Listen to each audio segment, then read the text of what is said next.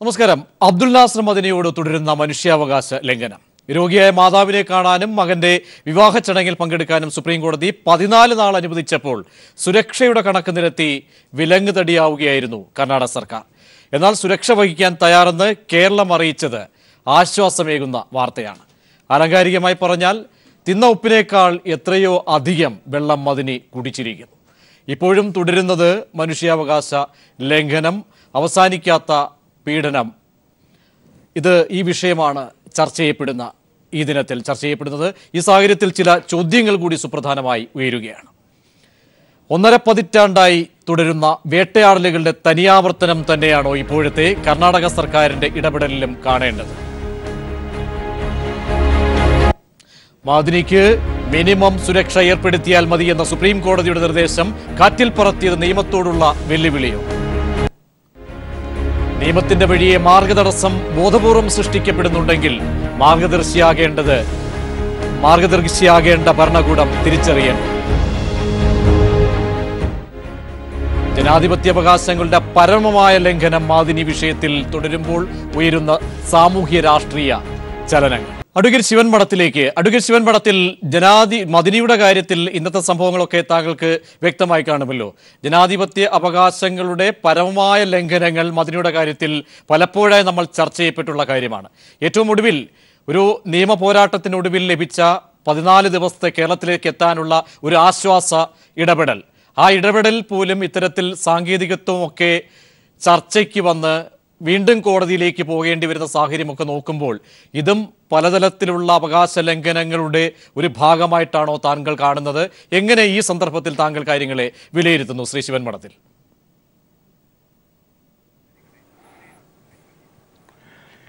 ഞാൻ ഈ ചർച്ചയിൽ ബഹുമാന്യ വ്യക്തികൾ അതിഥികൾ എന്ത് സംസാരിച്ചു എന്ന് എനിക്ക് അറിയില്ല ഞാൻ താമസിച്ചു തുടങ്ങിയിട്ടേ ഉള്ളൂ. താങ്കളിൽ നിന്നാണ് താങ്കളിൽ നിന്നാണ് തുടങ്ങുന്നത്. ഒരു കാര്യം വളരെ വ്യക്തമാണ്. ആ ആ സോറി ഞാൻ വിചാരിച്ചു അല്പസമയം കഴിഞ്ഞ് പെട്ടെന്ന് ഒരു പരിപാടിയും കഴിഞ്ഞ് വന്നതാണ്. അപ്പോൾ എനിക്ക് തോന്നുന്നത് എന്റെ ഒരു എളിയ അഭിപ്രായം മദനിയെ സംബന്ധിച്ചിടത്തോളം മദനിയെക്കുറിച്ച് നമുക്ക് വ്യത്യസ്തമായ അഭിപ്രായങ്ങൾ അദ്ദേഹം കുറ്റക്കാരനാണോ അല്ലയോ അല്ലെങ്കിൽ അദ്ദേഹത്തിന് ആരോപിക്കപ്പെട്ട കുറ്റങ്ങൾ അദ്ദേഹം ചെയ്തതാണോ ഇതൊന്നും നമ്മുടെ ഇപ്പോഴത്തെ ചർച്ചാ വിഷയമല്ല. അത് കോടതിയിലിരിക്കുന്ന വിഷയമാണ്. പക്ഷേ രണ്ട് കാര്യങ്ങൾ വളരെ വ്യക്തമാണ്. ഒന്ന് വിചാരണ തടവുകാരനായി അദ്ദേഹം പത്ത് പതിനേഴ് വർഷം ജയിലിൽ കഴിയുന്നത് ഒരു ജയിൽ വിധനായ ഒരാളെന്ന നിലയിൽ അവകാശ നിഷേധം അതായത് കടുത്ത മനുഷ്യാവകാശ ലംഘനമാണത്. രണ്ടാമത്തെ കാര്യം ഇപ്പോൾ നമ്മൾ പരാമർശ വിഷയമായ ചർച്ച ചെയ്യപ്പെടുന്ന വിഷയം എന്ന് പറയുന്നത് അദ്ദേഹത്തിന്റെ മകന്റെ വിവാഹത്തിന് പങ്കെടുക്കാൻ പിതാവെന്ന നിലയിൽ പോകാനുള്ള അവകാശം അദ്ദേഹം ചോദിച്ചുകൊണ്ട് കോടതി പോയപ്പോൾ കോടതി അത് ഞാൻ മനസ്സിലാക്കുന്നത് വിചാരണ കോടതി അത് പിന്നെ സ്വീകരിച്ചില്ല. സുപ്രീം കോടതി പോയപ്പോഴാണ് സുപ്രീം കോടതി കർശനമായ ചില നിയന്ത്രണങ്ങൾ വെച്ചുകൊണ്ട് നിർദ്ദേശങ്ങളും നിയന്ത്രണങ്ങളും വെച്ചുകൊണ്ട് അദ്ദേഹത്തിന് അനുവാദം കൊടുത്തു. അതിൽ അദ്ദേഹത്തിന്റെ സെക്യൂരിറ്റി അദ്ദേഹത്തിന് വേണ്ടിയിട്ടുള്ള സുരക്ഷിതത്വവുമായി ബന്ധപ്പെട്ട് വരുന്ന ചെലവ് അദ്ദേഹം വഹിക്കണമെന്ന് പറഞ്ഞു.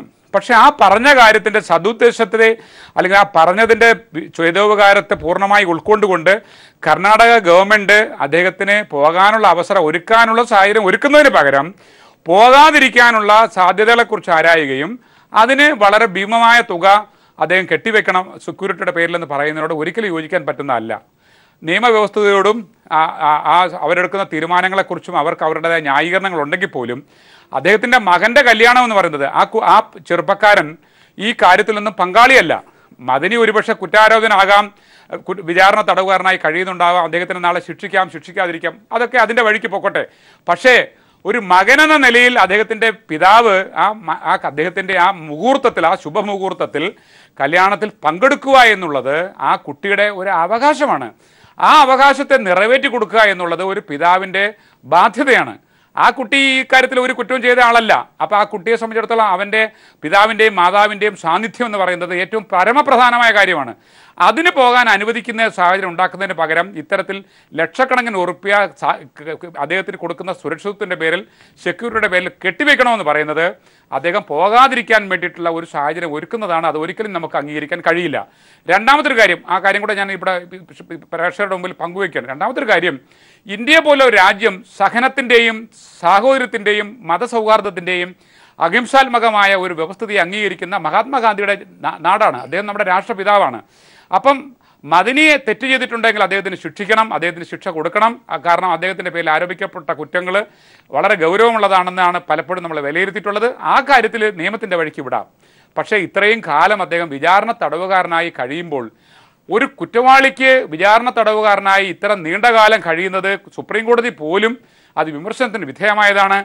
അത് നമ്മുടെ നിയമവ്യവസ്ഥിതിക്ക് കളങ്കപ്പെടുത്തുന്ന ഒരു സംഭവമാണത്. അത് ഒരിക്കലും അങ്ങനെ ഉണ്ടാകാൻ പാടില്ല. എത്രയും വേഗം അദ്ദേഹത്തിന്റെ പേരുള്ള കുറ്റങ്ങൾ വിചാരണ നടത്തി. തെറ്റ് ചെയ്തുവെങ്കിൽ അദ്ദേഹത്തിന് നിയമത്തിന്റെ മുമ്പിലേക്ക് വിടുക. അദ്ദേഹം കുറ്റക്കാരനല്ലെങ്കിൽ അദ്ദേഹത്തിനെ ജീവിക്കാൻ അനുവദിക്കുക. അദ്ദേഹത്തിന് പല അസുഖങ്ങളും ഉള്ളതായിട്ടാണ് ഞാൻ മനസ്സിലാക്കുന്നത്.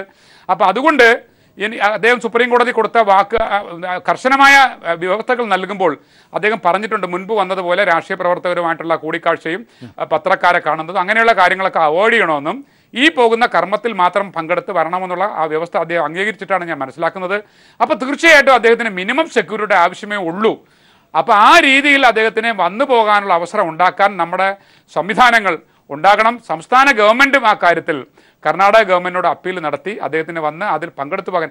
അങ്ങനെ വരുമ്പോഴാണ് നമ്മുടെ രാജ്യത്തിന്റെ മഹത്വത്തെ നമ്മൾ എല്ലാ അർത്ഥത്തിലും ഉയർത്തിപ്പിടിക്കുന്നത്. ആ രീതിയിലായിരിക്കണം നമ്മൾ സമീപിക്കേണ്ടത്. അല്ലാതെ മദനി കുറ്റക്കാരനാണ് അദ്ദേഹം കുറ്റം ചെയ്തുകൊണ്ട് അദ്ദേഹത്തിനോട് എല്ലാ കാര്യത്തിലും നമ്മൾ കുറ്റം ആരോപിക്കപ്പെടുന്ന ഒരു വ്യക്തിയോടുള്ള കർക്കശമായ ഒരു വിരോധമല്ല നമ്മൾ എടുക്കേണ്ടത്. മറിച്ച് അദ്ദേഹം പല അസുഖങ്ങളുടെയും ആളായിട്ട് കഴിയുകയാണ്. പല രീതിയിൽ കാഴ്ച കാഴ്ചയുടെ കുറവ് പിന്നെ പ്രഷറിന്റെ അസുഖം ഉണ്ട്. അദ്ദേഹത്തിന്റെ ശാരീരികമായ അസ്വസ്ഥതകൾ ഒരുപാടുകളുണ്ട്. ഒക്കെയുണ്ട്. ഇതൊന്നും അദ്ദേഹം ചെയ്ത കുറ്റത്തിന് ന്യായീകരണമല്ല എന്ന് പൂർണമായി വിശ്വസിക്കുന്ന കൂട്ടത്തിലാണ്. അങ്ങനെയാണെങ്കിൽ അദ്ദേഹത്തിന് എത്രയും പെട്ടെന്ന് വിചാരണ നടത്തി.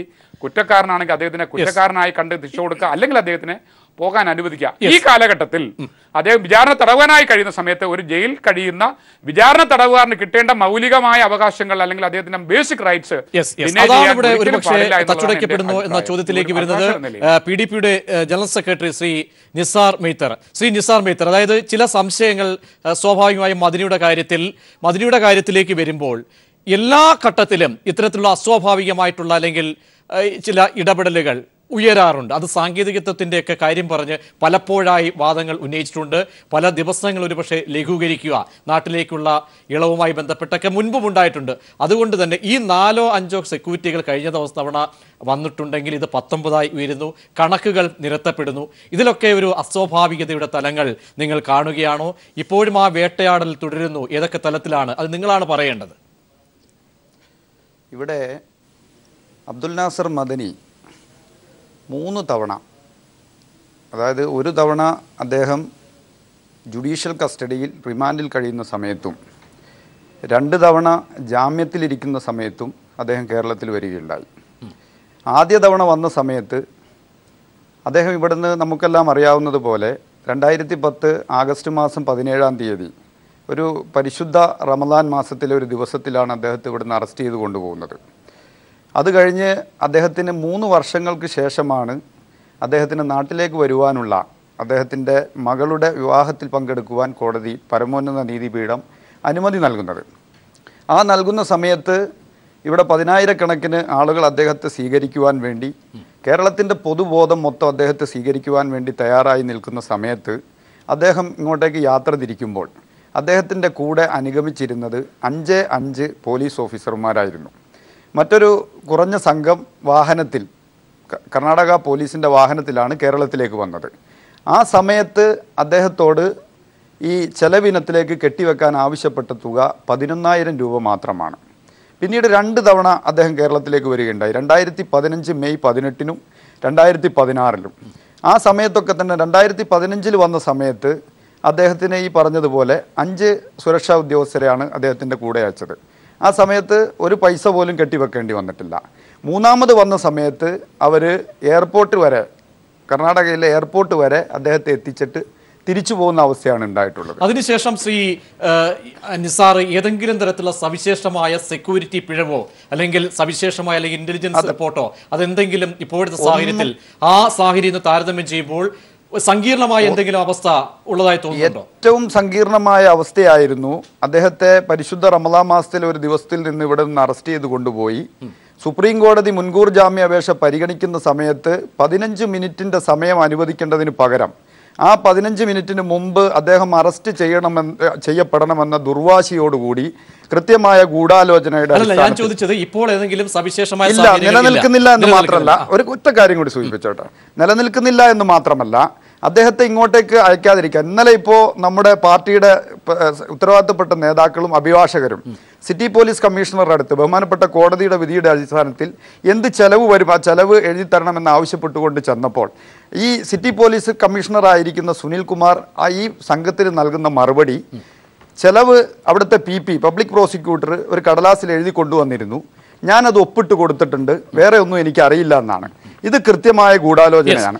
ഗൂഢാലോചന എന്ന്. മാത്രമല്ല കേരളത്തിലെ ശ്രീ- ശ്രീ വി വി രാജേഷ് അതായത് പ്രത്യേക സാഹചര്യങ്ങളൊന്നും തന്നെ ഈ പറയുന്ന പതിനായിരം രൂപ പതിനോരായിരം അതുപോട്ടെ പതിനായിരം അല്ല അമ്പതിനായിരം ആയിക്കോട്ടെ. ഈ അൻപതിനായിരത്തി അപ്പുറത്തേക്ക് പക്ഷേ ജി എസ് ടി വന്നതാണ്. അവിടെ ഒന്നോ രണ്ടോ ലക്ഷം രൂപ. അതിനും അപ്പുറത്തേക്ക് ഈ പതിനാലായിരത്തി സംതിങ് എന്ന കണക്കിലേക്ക് കാര്യങ്ങൾ എത്തുമ്പോൾ അവിടെയാണ് പി ഡി പി ഉന്നയിക്കുന്ന ആരോപണങ്ങൾക്കും അപ്പുറത്തേക്ക് പതിനാലായിരത്തി എഴുന്നൂറ്റി ക്ഷമിക്കണം പതിനാല് ലക്ഷത്തി എഴുപത്തി ഒൻപതിനായിരത്തി എണ്ണൂറ്റി എഴുപത്തി അഞ്ച് എന്ന സംഖ്യയിലേക്ക് എത്തുമ്പോൾ സ്വാഭാവികമായും പൊതുസമൂഹം ചില ചോദ്യങ്ങൾ ഉയരുന്നു ഉയർത്തുന്നു. അതിന് മറുപടി Shri V V Rajesh.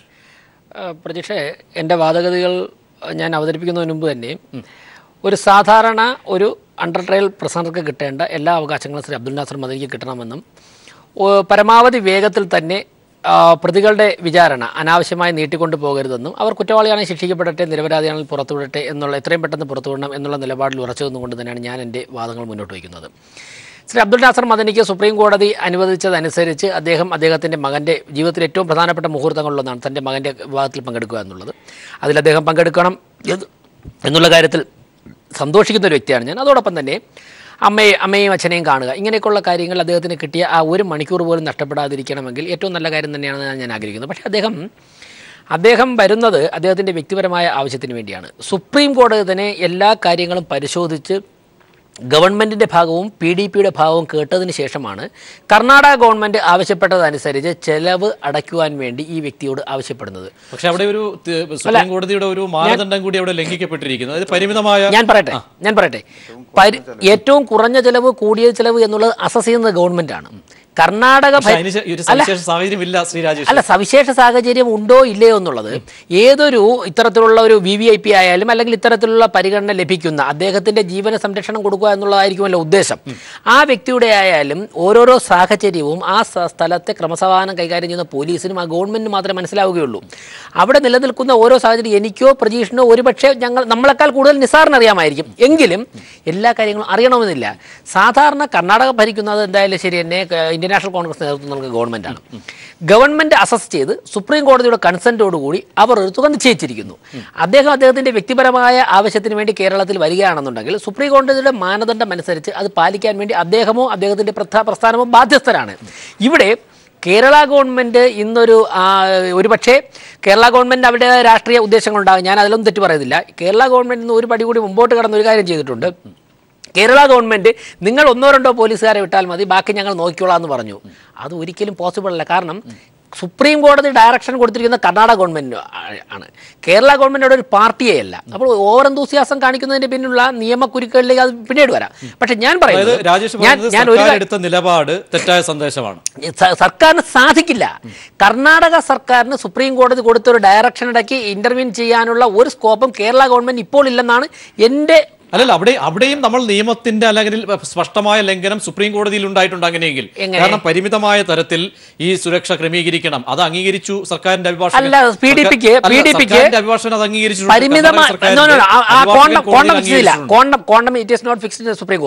Fix ചെയ്തില്ല. എമൗണ്ട് ഫിക്സ് ചെയ്തില്ല.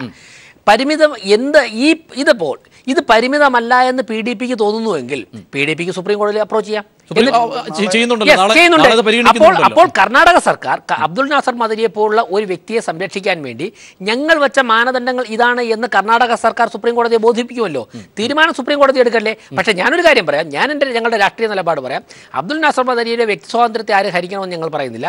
പക്ഷേ അദ്ദേഹം അദ്ദേഹത്തിന്റെ വ്യക്തിപരമായ കാര്യങ്ങൾക്ക് വരുമ്പോൾ അദ്ദേഹം സ്വാതന്ത്ര്യ സമരമൊന്നും നടത്തിയിട്ടില്ലല്ലോ ജയിലിൽ കിടക്കുന്നത്. സർക്കാർ ചെലവിലൂടെ കൊണ്ടുവരാൻ വേണ്ടി അദ്ദേഹം സ്വാതന്ത്ര്യ സമരത്തിനൊന്നും പോയിട്ടൊന്നുമല്ലോ അദ്ദേഹത്തിന്റെ മനുഷ്യാവകാശം സംരക്ഷിക്കണമെന്ന് പറയുമ്പോൾ തന്നെ അദ്ദേഹം നടത്തിയ ക്രൈം അദ്ദേഹം നടത്തിയ ക്രൈമിന്റെ ഫലമായി ഉണ്ടായിട്ടുള്ള രാജ്യത്തിനുണ്ടായ നഷ്ടം ഇതൊക്കെ തന്നെ നമുക്കൊരിക്കലും വിസ്മരിക്കാൻ സാധിക്കില്ല അതിലൂടെ ഊന്നി നിന്നുകൊണ്ട് മാത്രമേ സംസാരിക്കാൻ സാധിക്കൂ ശ്രീ ശക്തിധരൻ താങ്കൾ ഈ കേസിന്റെ തുടക്കം മുതൽ പരിശോധിക്കുന്ന വ്യക്തിയാണ്. കാരണം ഇതിലെ മെറിറ്റോ ഒക്കെ നിശ്ചയിക്കേണ്ടത് കോടതികളാണ്. ഒരു കേസ് അത് കോടതി ഏറ്റവും അവസാനം അല്ലെങ്കിൽ ഇത് പത്ത് വർഷക്കാലം കഴിഞ്ഞിരിക്കുന്നു. അത് എന്താണ് സംഭവിച്ചതെന്ന് നമുക്കറിയാം. അതിനുശേഷം ആറ് വർഷം ഒരു പക്ഷേ നീണ്ടുപോകുന്ന ഒരു സാഹചര്യം. ഇന്ന് വി വി രാജ് ഇപ്പോൾ പറയുന്ന ഈ സംസ്ഥാന സർക്കാർ എടുത്തിരിക്കുന്ന ഇച്ഛാശക്തി എന്ന് പലരും വിശേഷിപ്പിക്കുന്ന ഈ നടപടി ഒരർത്ഥത്തിൽ അത് തെറ്റായ സന്ദേശം കൊണ്ടുപോകും നൽകും. മാത്രമല്ല നിയമതലത്തിൽ ഇത് നിലനിൽക്കുന്നതുമല്ല എന്ന് വി വി രാജ് പറയുന്നുണ്ടെങ്കിൽ. ശ്രീ ശക്തിധരൻ അല്ല വി വി രാജേഷ് ഒരു കാരണവശാലും ഈ സംസ്ഥാന ഗവൺമെന്റ് എടുത്തൊരു നടപടി ശരിയാണ്. അത് നിയമപരമാണ് എന്ന് പറയുന്നു. ഞാൻ വാശി പിടിക്കുന്നുമില്ല ഞാൻ ആഗ്രഹിക്കുന്നുമില്ല. ഇവിടെ പ്രശ്നം എന്താ അബ്ദുൽ നാസർ മദനി അദ്ദേഹത്തിനൊരു കേരളത്തിലേക്ക് വരാനായിട്ടുള്ള ഒരു സൗകര്യം കിട്ടിയപ്പോൾ ആ സൗകര്യം ഇല്ലായ്മ ചെയ്യുന്നതിന് എവിടെയൊക്കെയോ ആരൊക്കെയോ എന്തെല്ലാമോ ഒക്കെ ചെയ്യുന്നു എന്നുള്ളൊരു ഫീലിംഗ് ഉണ്ടായിട്ടുണ്ട്. അതൊരു ഒരു വസ്തുതയാണ്. മറ്റേ അബ്ദുൽ നാസർ മദനി വിചാരണ കൂടാതെ ഇത്രയും കാലം തടവിൽ പാർപ്പിച്ചിട്ടുള്ള അപൂർവം തടവുകാരിൽ ഒരാളാണ്. വേണമെങ്കിൽ നെൽസൺ മണ്ടയിലേക്ക് വേണമെങ്കിൽ പറയാം ഇത്തരത്തിൽ. എന്ത് എന്ത് കുറ്റമാണ് അദ്ദേഹം ചെയ്തിട്ടുള്ളതെങ്കിലും ഇതിന് ശേഷം നടന്ന ഒരുപാട് കുറ്റങ്ങളുണ്ടല്ലോ ബോംബെയിലും അവിടെ ഇവിടെയൊക്കെ. അതിനൊക്കെ തീർപ്പുണ്ടാക്കിയല്ലോ. ഇതിനെന്താ തീർപ്പുണ്ടാകാത്തത്? ഇതിന് തീർപ്പുണ്ടാക്കാതെ ഇത് മനഃപൂർവം നീട്ടിക്കൊണ്ടു പോകുന്നത് മനുഷ്യാവകാശ ധ്വംസനമാണ്. അദ്ദേഹത്തിന് നീതി ലഭിക്കരുത്. അദ്ദേഹം കുറ്റം ചെയ്തിട്ടുണ്ടെങ്കിൽ ശിക്ഷിച്ചോളാൻ എല്ലാവരും പറയുന്നുണ്ട്. ഒരാളും അയാളെ ഏ, പുണ്യവാളനാക്കണമെന്ന് ഒരാളും പറയുന്നില്ല. എന്തുകൊണ്ടാണ് വിചാരണ നടത്താതെ ഇങ്ങനെ അദ്ദേഹത്തെ വെറുതെ കൽ കൽത്തുറങ്കിൽ അടച്ചുകൊണ്ടിരിക്കുന്നത് അടച്ചിരുന്നത് എന്നുള്ളതിനൊരു ഒരു ന്യായം നമ്മുടെ ഈ നീതിന്യായ വ്യവസ്ഥ ഏത് കോടതിയാണെങ്കിലും ഒന്ന് രാജ്യത്തിലെ ജനങ്ങളോട് പറയേണ്ടതായിട്ടുണ്ട്. ശ്രീ ശിവൻ മഠത്തിൽ സോ ഈ വി വി രാജേഷ് അദ്ദേഹം ചോദിക്കുന്ന ചോദ്യം അതായത് സംസ്ഥാന സർക്കാർ ഇപ്പോൾ എടുത്ത ഒരു നിലപാട് അത് ഒരുപക്ഷെ പി ഡി പി നേതാക്കൾ ഇന്ന് കാണുകയാണ്. കാര്യങ്ങൾ മുഖ്യമന്ത്രിയെ കാണുമ്പോൾ ബോധ്യപ്പെടുത്തുന്നു നിസ്സഹായാവസ്ഥ ബോധ്യപ്പെടുത്തുകയാണ്. അവിടെ സുപ്രീം കോടതിക്ക് മുന്നിൽ സുപ്രീം കോടതി നൽകിയ ഒരു നിർദ്ദേശം അവിടെ ലംഘിക്കപ്പെട്ടിട്ടുണ്ടോ? പരിമിതമായ സാഹചര്യത്തിൽ ഇക്കാര്യങ്ങൾ സുരക്ഷ ഒരുക്കണം. അത് സംസ്ഥാന സർക്കാരിന്റെ കർണാടക സർക്കാരിന്റെ അഭിഭാഷകൻ അത് അംഗീകരിക്കുന്നുണ്ട്. മറിച്ച് ഇത്ര ഭീമമായൊരു തുകയിലേക്ക് വരുമ്പോൾ സ്വാഭാവികമായും ഇന്നത്തെ സാഹചര്യത്തിൽ കാരണം ഓരോ ദിനവും കുറയുകയാണ്. അത് മദിനിയെ സംബന്ധിച്ചിടത്തോളം വീണ്ടും ഒരു ഒരു നീതി നിഷേധം മനുഷ്യാവകാശ ലംഘനത്തിലേക്ക് പോകുമോ എന്ന തോന്നലിന്റെ അടിസ്ഥാനത്തിൽ സർക്കാർ ഇവിടുത്തെ സുരക്ഷ വഹിക്കുമെന്ന് ഏൽക്കുമ്പോൾ അവിടെ ഒരു നിയമപ്രശ്നം ഉയരുന്നുണ്ടോ? മാത്രമല്ല സർക്കാരിന്റെ നിലപാടിനെ മറ്റൊരു തരത്തിലേക്ക് ചിത്രീകരിക്കാനുണ്ട അല്ലെങ്കിൽ ചിത്രീകരിക്കേണ്ട രാഷ്ട്രീയമായി ഒരു സാഹചര്യം കൂടി വരുന്നുണ്ടോ? എങ്ങനെയാണ് താങ്കൾ ആ നിലപാടിനെ കാണുന്നത്? അല്ല അത് അത് ആ, ശ്രീ ശക്തികരൻ മാഷ് അതിനെക്കുറിച്ചുകൂടെ സൂചിപ്പിച്ചു. ഞാൻ അതിൽ കൂടുതൽ അതിനെക്കുറിച്ചൊരു വിലയിരുത്തലേക്ക് പോകുന്നില്ല. ശ്രീ രാജേഷ് എന്റെ സുഹൃത്താണ് അഭിഭാഷകനാണ്. പക്ഷേ അദ്ദേഹം ഒരു രാഷ്ട്രീയ പാർട്ടിയുടെ സംസ്ഥാന ഭാരവാഹി എന്ന നിലയിൽ രാഷ്ട്രീയപരമായി അദ്ദേഹത്തെ ഈ വിഷയത്തെ സമീപിച്ചു എന്നുള്ളതാണ്. ഞാൻ അതിന് അദ്ദേഹത്തെ കുറ്റം പറയുന്നില്ല. പക്ഷെ അദ്ദേഹം പറഞ്ഞ ഒരു കാര്യത്തിൽ ഒരു വിശദീകരണം എനിക്ക് നൽകാനുണ്ട്. ഈ അവസ്ഥയിൽ പോലും അതായത് ഈ അവസ്ഥയിൽ പോലും ഈ ദിനത്തിൽ ഗവൺമെന്റ് രാഷ്ട്രീയമായ തലത്തിലേക്ക് ചിന്തിക്കാൻ കഴിയുന്നതാണോ? എല്ലാം മാറ്റിവെക്കുക. കാരണം നീതിയും അല്ലെങ്കിൽ മെറിറ്റും ഒക്കെ നിശ്ചയിക്കേണ്ടത് കോടതിയാണ്. പക്ഷെ ചില ഒരു മനുഷ്യ മനുഷ്യത്വപരമായ ഒരു ഇടപെടൽ ഈ ദിനത്തിൽ പ്രതീക്ഷിക്കുന്നില്ല. അല്ല അല്ലല്ല രാജേഷ് അല്ല തീർച്ചയായിട്ടും തീർച്ചയായിട്ടും. ഞാൻ എന്റെ പ്രിയ സുഹൃത്ത് രാജേഷ് ആ കാര്യം ആമുഖമായി അദ്ദേഹം അംഗീകരിച്ചു.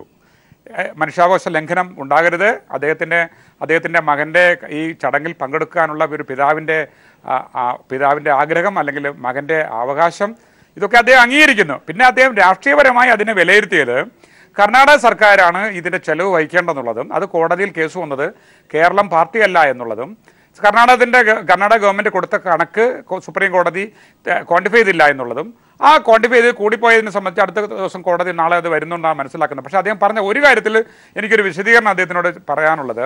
വിശദീകരണം എന്ന് പറഞ്ഞാൽ ഒരു ക്ലാരിഫിക്കേഷൻ സംസ്ഥാന ഗവൺമെന്റ് സംസ്ഥാന ഗവൺമെന്റിന്റെ പരിധിയിലേക്ക് അദ്ദേഹത്തെ കൊണ്ടുവരുമ്പോൾ സുരക്ഷിതത്വം സംബന്ധിച്ച് സംസ്ഥാന ഗവൺമെന്റിന് മാറി നിൽക്കാൻ കഴിയില്ല.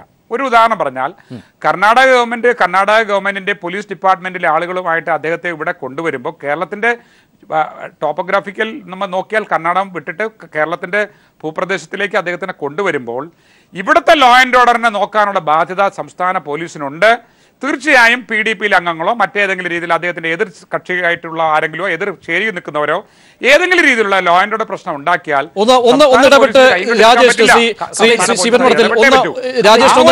ഇടപെടേണ്ട സാഹചര്യം.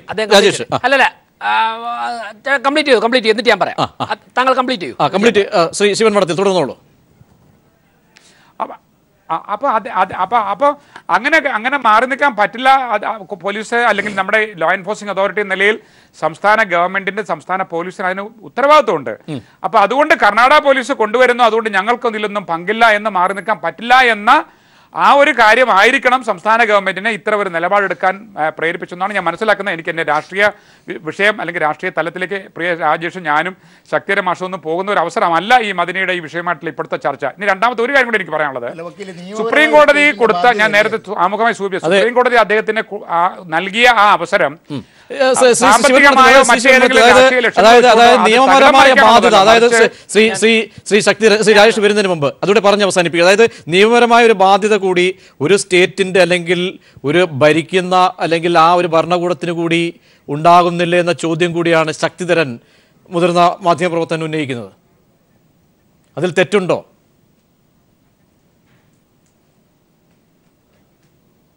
അല്ല ഒരിക്കലുമില്ല ഞാനത് പറഞ്ഞത് സംസ്ഥാന ഗവൺമെന്റിനെ സംബന്ധിച്ചിടത്തോളം സംസ്ഥാന ഗവൺമെന്റിനെ ശ്രീ മദനിയെ കൊണ്ടുവരുന്ന സമയത്ത് അതിൽ എന്തെങ്കിലും ലോ ആൻഡ് ഓർഡർ പ്രശ്നം ഉണ്ടായാൽ അത് അവർക്ക് മാറി നിൽക്കാൻ കഴിയില്ല. അവരും കൂടെ എപ്പോഴും നമ്മൾ കാണുന്നത് ഒരു ഇൻട്രസ്റ്റേറ്റ് ഇത്തരത്തിലുള്ള ഒരു വിചാരണ തടവുകാരെയോ അല്ലെങ്കിൽ മറ്റേതെങ്കിലും ഇൻട്രസ്റ്റേറ്റ് തലത്തിലേക്ക് കൊണ്ടുവരുമ്പോൾ ആ കൊണ്ടുവരുന്ന സ്റ്റേറ്റിന് അതിന് ബാധ്യതയുണ്ട്. കൈയും കെട്ടി മാറി നിൽക്കാൻ പറ്റില്ല. അപ്പോൾ അതിന്റെ ചെലവിനെ സംബന്ധിച്ചിടത്തോളം സംസ്ഥാന ഗവൺമെന്റിന്റെ മുമ്പിൽ ഈ കാര്യം വന്നപ്പോൾ അവർ പറഞ്ഞത് ഒരുപക്ഷെ അതിന്റെ ഒരു ധാർമ്മിക പിന്തുണ നൽകിയതായിരിക്കണം എന്നാണ് ഞാൻ മനസ്സിലാക്കുന്നത് എന്താ? ഇത്രയും ചെലവ് നിങ്ങൾക്ക് വഹിക്കാൻ ഉള്ള ബുദ്ധിമുട്ടുണ്ടെങ്കിൽ അദ്ദേഹത്തിന് ഉള്ള ആ പ്രൊട്ടക്ഷൻ കൊടുക്കുന്ന കാര്യത്തിൽ ഞങ്ങൾ അതിന്റെ ഉത്തരവാദിത്തം എടുക്കാമെന്ന് പറഞ്ഞതിന്റെ ധാർമ്മികതയാണ് ഞാൻ കാണുന്നത്. അതിന്റെ സങ്കീർണതകളും നിയമപ്രശ്നങ്ങളും അല്ല ഞാനിപ്പോൾ ഇവിടെ കാണുന്നത്. ശ്രീ രാജേഷ് ആ കാര്യത്തെ ആ- വികാരത്തെ ഉൾക്കൊള്ളുമെന്ന് ഞാൻ മനസ്സിലാക്കുന്നു. പക്ഷേ അതിനോട് ചേർത്ത് പറയേണ്ടത് ഈ പന്ത്രണ്ട് ലക്ഷം രൂപ ചെലവ് വരുന്നതിനെ സംബന്ധിച്ചുള്ളിടത്തോളം ലോജിക്ക് എന്താണെന്ന് എനിക്ക് മനസ്സിലാവുന്നില്ല. ഒന്ന് രണ്ട് സുപ്രീം കോടതി അദ്ദേഹത്തെ പോകാൻ അനുവദിച്ചതിന്റെ ചേതോവികാരം നമ്മളെല്ലാവരും ഉൾക്കൊള്ളണം. സംസ്ഥാന ഗവൺമെന്റ് കർണാടക ഗവൺമെന്റ് ഉൾക്കൊള്ളണം. പോകാൻ വേണ്ടിയാണ് ആ കോടതി അങ്ങനെ നിബന്ധനകൾ വെച്ചത്. പോകാതിരിക്കാൻ വേണ്ടിയിട്ടല്ല. അപ്പൊ പോകാൻ വേണ്ടിയുള്ളതും അദ്ദേഹത്തിന് അഫോർഡ് ചെയ്യാൻ പറ്റുന്ന രീതിയിലുള്ള ഒരു തുക. അത് മിനിമം സെക്യൂരിറ്റി ഞാൻ ഒരു കാര്യം കൂടി ചേർത്ത് പറയാം. ഇപ്പോൾ കോടതിയിൽ സുപ്രീം കോടതി കേസ് വന്നത് അദ്ദേഹത്തിന്റെ കേസ് നടത്തുന്ന അഭിഭാഷകൻ പ്രശാന്ത് ഭൂഷൺ എന്റെ സുഹൃത്തും കൂടെയാണ്. ഞാൻ മനസ്സിലാക്കുന്നത് കോടതിയിൽ അദ്ദേഹത്തിന് അത്തരം ഒരു വലിയ സാമ്പത്തിക ബാധ്യത എടുക്കാൻ കഴിയില്ല എന്ന് പറഞ്ഞപ്പോൾ അദ്ദേഹം അതിന് വിശദീകരണം നൽകിയെന്ന് മാത്രമല്ല മുൻപ് വന്നപ്പോൾ ഉണ്ടായ ലോ ആൻഡ് ഓർഡർ പ്രശ്നങ്ങളൊന്നും ഉണ്ടാകില്ല. ഈ പോകുന്ന നിബന്ധനകളിൽ കോടതി വെച്ച നിബന്ധനകളെല്ലാം അംഗീകരിച്ചുകൊണ്ട് ഞാൻ ആ ചടങ്ങിലേക്ക് പങ്കെടുത്തു പോകാമെന്ന ഉറച്ച നിലപാട് മദിനിയുടെ അഭിഭാഷകൻ കോടതി നൽകിയതിന്റെ അടിസ്ഥാനത്തിലാണ് അദ്ദേഹത്തെ പോകാൻ അനുവദിച്ചതും. ആ രീതിയിൽ കർണാടക ഗവൺമെന്റ് ആ കാര്യത്തെ കാണുകയും ആ ആ പ്രൊട്ടക്ഷൻ പോലീസ് പ്രൊട്ടക്ഷൻ അദ്ദേഹത്തിന് ജീവന് സ്വത്തിനും അല്ലെങ്കിൽ സ്വത്തിന്റെ പ്രശ്നം ഒതുക്കുന്നില്ല ജീവന് സംരക്ഷണം കൊടുക്കാനുള്ള സെക്യൂരിറ്റി എന്ന് പറയുന്നത് മിനിമം എക്സ്പെൻസിൽ നിർത്തി അദ്ദേഹത്തെ പോകാനുള്ളൊരു സാഹചര്യം ഉണ്ടാക്കണമെന്നുള്ളതാണ് നമ്മുടെ നമ്മൾ ആഗ്രഹിക്കുന്നതും നമ്മുടെ കേരള ഗവൺമെന്റ് ആ കാര്യത്തിൽ കർണാടക ഗവൺമെന്റിനോട് അഭ്യർത്ഥിക്കേണ്ടത് ശരിയാണ്. ശ്രീ രാജേഷ് അതായത് ഇവിടെ അവിടെ ഈ കാര്യങ്ങൾ ചേർത്ത് വെക്കുമ്പോൾ സുപ്രീം കോടതിയിൽ അടക്കം എടുത്ത സുപ്രീം കോടതി കാണിച്ച അല്ലെങ്കിൽ ഈ ഒരു നിർദ്ദേശം അല്ലെങ്കിൽ ഈ തീരുമാനം അത് വായിച്ചു നോക്കുമ്പോൾ ഈ പിടിവാശി ഈ കണക്കുകൾ ഈ കണക്കുകളൊന്നും പൊരുത്തപ്പെടാത്ത ഒരു സാഹചര്യം. മാത്രമല്ല ഈ പതിനാല് ലക്ഷത്തി സംതിങ് എന്നത് ഇനിയുള്ള യാത്രകളുണ്ട് ഇവിടുത്തെ ചെലവുകളുണ്ട്. ഇതിലേക്കാൾ നോക്കുമ്പോഴാണ് ഇവർ പറയുന്നതിനോട് ഒരുപക്ഷെ നമുക്ക് വിശ്വാസപൂർവം എടുക്കേണ്ടി വരുന്നതായി തോന്നുന്നത്. കാരണം ഇടപെടൽ ആ ഇടപെടൽ ഇന്നും അതിനുടെ കാര്യത്തിൽ ഉണ്ടാകുന്നു. ആ ഒരു വംശം മാറ്റിവെച്ചു. രാജേഷ് ഇവിടെ ഒരു മനുഷ്യത്വപരമായ രീതിയിലേക്ക് ഇതിനത്തെ ഒന്ന് വിലയിരുത്തിയാൽ. ഈ ഗവൺമെന്റ് അത്തരത്തിലൊരു വെഞ്ചൻസ് വെച്ചുകൊണ്ട് ഇടപെടുന്നോ ഇല്ലെന്നുള്ളത് എനിക്ക് പറയാം സർക്കാരിന്റെ ഒരു ബാധ്യത അല്ല, എന്നാണ് താങ്കൾ ആവർത്തിക്കുന്നത്. ഞാൻ കംപ്ലീറ്റ് ചെയ്യട്ടെ. അല്ല സുപ്രീം കോടതിയാണ് തീരുമാനിച്ചത്. ഞാൻ പറയുന്നതല്ല സുപ്രീം കോടതി തീരുമാനിച്ച് പി ഡി പിയും കർണാടക ഗവൺമെന്റും എഗ്രി ചെയ്ത് ഒരു കൺക്ലൂഷനിലെത്തിയാണ് ഞാൻ ശിവൻ അഡ്വക്കേറ്റ് ശിവൻ മഠത്തിൽ അദ്ദേഹം പറഞ്ഞ ഞാനൊരു ക്ലാരിഫൈ ചെയ്യട്ടെ. ഞാൻ സൂചിപ്പിച്ചത് കർണാടക ഗവൺമെന്റ് പത്തൊൻപത് പോലീസ് ഓഫീസർമാരെ ഒരു എസ് പിയുടെ നേതൃത്വത്തിൽ രണ്ട് എ സിമാർ ഉൾപ്പെടെ പത്തൊൻപത് ഓഫീസർമാരെയാണ് ഇദ്ദേഹത്തോടൊപ്പം അയക്കുന്നത്. ഒരു കാരണവശാലും ഈ പത്തൊൻപത് ഓഫീസർമാർ കേരളത്തെക്കുറിച്ച് അറിയില്ലാത്ത ഈ പത്തൊൻപത് ഓഫീസർമാർക്ക് ഹൊസൂർ കഴിഞ്ഞു കഴിഞ്ഞാൽ അവർക്ക് ഒരു കൺട്രോളും ഇതിലുണ്ടാവില്ല. ശ്രീ അബ്ദുൽ നാസർ മാദി കേരളത്തിന്റെ ബോർഡർ കടക്കുമ്പോൾ തന്നെ സ്വാഭാവികമായിട്ടും ആയിരക്കണക്കിന് അവരുടെ പാർട്ടി പ്രവർത്തകർ വരാൻ സാധ്യതയുണ്ട്. എല്ലാ മാധ്യമങ്ങളും റോഡ് മാർഗമാണ് വരുന്നതെങ്കിൽ അദ്ദേഹം എവിടെയാണോ കാലുകുത്തുന്നത് അല്ലെങ്കിൽ അദ്ദേഹത്തിന് വാഹനം വരുന്നത് അത് മുതൽ തിരിച്ച് അദ്ദേഹം കർണാടക ബോർഡർ പോകുന്നത് പോലെ ലൈവ് വാഹനങ്ങൾ അദ്ദേഹത്തെ അനുമതി അനുഗമിക്കാനുള്ള സാധ്യതയുമുണ്ട്. ഒരു ഈ പത്തൊൻപത് പോലീസുകാർക്ക് അദ്ദേഹത്തിന്റെ ചുറ്റും നിൽക്കാനല്ലാതെ വേറെ ഒന്നും ചെയ്യാൻ സാധിക്കില്ലെന്ന് നമുക്കറിയാം. സ്വാഭാവികമായിട്ടും കേരള ഗവൺമെന്റ് അല്ലെങ്കിൽ കേരള പോലീസിന്റെ ഡ്യൂട്ടി തന്നെയായിരിക്കും ബാക്കി മുഴുവൻ കാര്യങ്ങളും എന്നുള്ളത് നമുക്ക് ഊഹിക്കാന്നുള്ളത് തന്നെയാണ്. ഇവിടെ കർണാടക ഗവൺമെന്റ് അതുകൊണ്ട് അതുകൊണ്ട് ഞങ്ങൾ ബാക്കിയെല്ലാം നോക്കിയോളാം നിങ്ങൾ രണ്ടോ മൂന്നോ ഓഫ് ഓഫീസർമാരെ മാത്രം അയച്ചാൽ മതി. അങ്ങനെ ചെലവ് കുറയ്ക്കും എന്നുള്ള സ്റ്റാൻഡ് കേരള ഗവൺമെന്റ് എടുക്കാൻ സാധിക്കില്ല. കാരണം കാരണം. പക്ഷേ മനുഷ്യാവകാശ. Sangh Parivar B J P B J P അല്ലെങ്കിൽ മാറ്റം ഉണ്ടാകും അല്ലെങ്കിൽ പ്രദേശ് ഈ സ്റ്റേജിൽ ഇടപെട്ടാൽ ഈ പ്രേക്ഷകർ ധരിക്കും. അദ്ദേഹം കേരളത്തിൽ വരുന്നത് ഞങ്ങൾ എതിരാണെന്ന് ധരിക്കും. ഞാൻ കംപ്ലീറ്റ് ചെയ്യട്ടെ. ഈ സ്റ്റേജിൽ ഇടപെട്ടാൽ ഈ ഇന്റർപ്രിട്ടേഷൻ തിരിച്ചാവും. ഞാൻ പറഞ്ഞത് കർണാടക ഗവൺമെന്റ് ഈ പതിനാല് ലക്ഷത്തി എഴുപത്തി ഒൻപതിനായിരം എന്ന എമൗണ്ടിലേക്ക് എത്തിയത്. ആ എമൗണ്ടിലേക്ക് എത്തിയത് എങ്ങനെയാണ് എന്നുള്ളത് കർണാടക ഗവൺമെന്റ് സുപ്രീം കോടതിയെ കൺവിൻസ് ചെയ്യണം. പി ഡി പി ഈ എമൗണ്ട് കൂടുതലാണ് എന്നുണ്ടെങ്കിൽ സ്വാഭാവികമായിട്ടും പി ഡി പിയുടെ പ്രഗത്ഭരായ അഡ്വക്കേറ്റ് അഡ്വക്കേറ്റ് പ്രശാന്ത് ഭൂഷൺ ഉൾപ്പെടെ ഉള്ളവർ കോടതിയിൽ വന്നിട്ട് അദ്ദേഹം കഴിഞ്ഞ അവിടെ വീണ്ടും ദിവസങ്ങൾ നഷ്ടപ്പെടുകയാണ്. കാര്യത്തിൽ എന്താണ് സംഭവിച്ചത്? അതിനേക്കാൾ പരിമിതമായ സമയങ്ങൾ. അതായത് സമയം കുറയ്ക്കുക. അത് ഞാൻ- പറയട്ടെ. കോടതിയിലേക്ക് ഞാൻ പറയട്ടെ. വീണ്ടും കോടതിയിലേക്ക് പോകാനുള്ള സാഹചര്യം ഉണ്ടായത് സർക്കാർ എടുത്തൊരു നിലപാടിലാണ്. കർണാടക സർക്കാർ എടുത്തൊരു നിലപാടിലാണ്. ആ നിലപാടിൽ ഇവർ അഗ്രീവ്ഡ് ആണ് ആയതുകൊണ്ടാണല്ലോ നാളെ പോകുന്നത്. ഞാൻ മനസ്സിലാക്കുന്നത് സുപ്രീം കോടതി ഇടപെട്ട് ഈ എമൗണ്ടിൽ കർണാടക ഗവൺമെന്റ് ഫിക്സ് ചെയ്ത എമൗണ്ട് ഹ്യൂജ് ആണ് എന്ന് തോന്നിക്കഴിഞ്ഞാൽ തീർച്ചയായിട്ടും സുപ്രീം കോടതി അതിലിടപെടും അതിലിടപെട്ട് കഴിഞ്ഞാൽ ഞാൻ മനസ്സിലാക്കുന്നത് സുപ്രീം കോടതി ഈ വിഷയത്തിൽ നഷ്ടപ്പെട്ട ദിനങ്ങൾ അദ്ദേഹത്തിന് കേരളത്തിൽ സ്പെൻഡ് ചെയ്യാനുള്ള അവസരം ഒരു പക്ഷേ സുപ്രീം കോടതി കൊടുക്കാനുള്ള അധികാരമുണ്ട്. സുപ്രീം കോടതി അത് കൺസിഡർ ചെയ്തിരിക്കും. പക്ഷേ ഇതിൽ ഗവൺമെന്റിന്റെ പർപ്പസ്ഫുള്ളിയുള്ള ഇടപെടൽ ഉണ്ടോ ഇല്ലയോ എന്നൊക്കെ തീരുമാനിക്കേണ്ടത് അല്ലെങ്കിൽ പറയേണ്ടത് അവരുടെ പാർട്ടിയാണ്.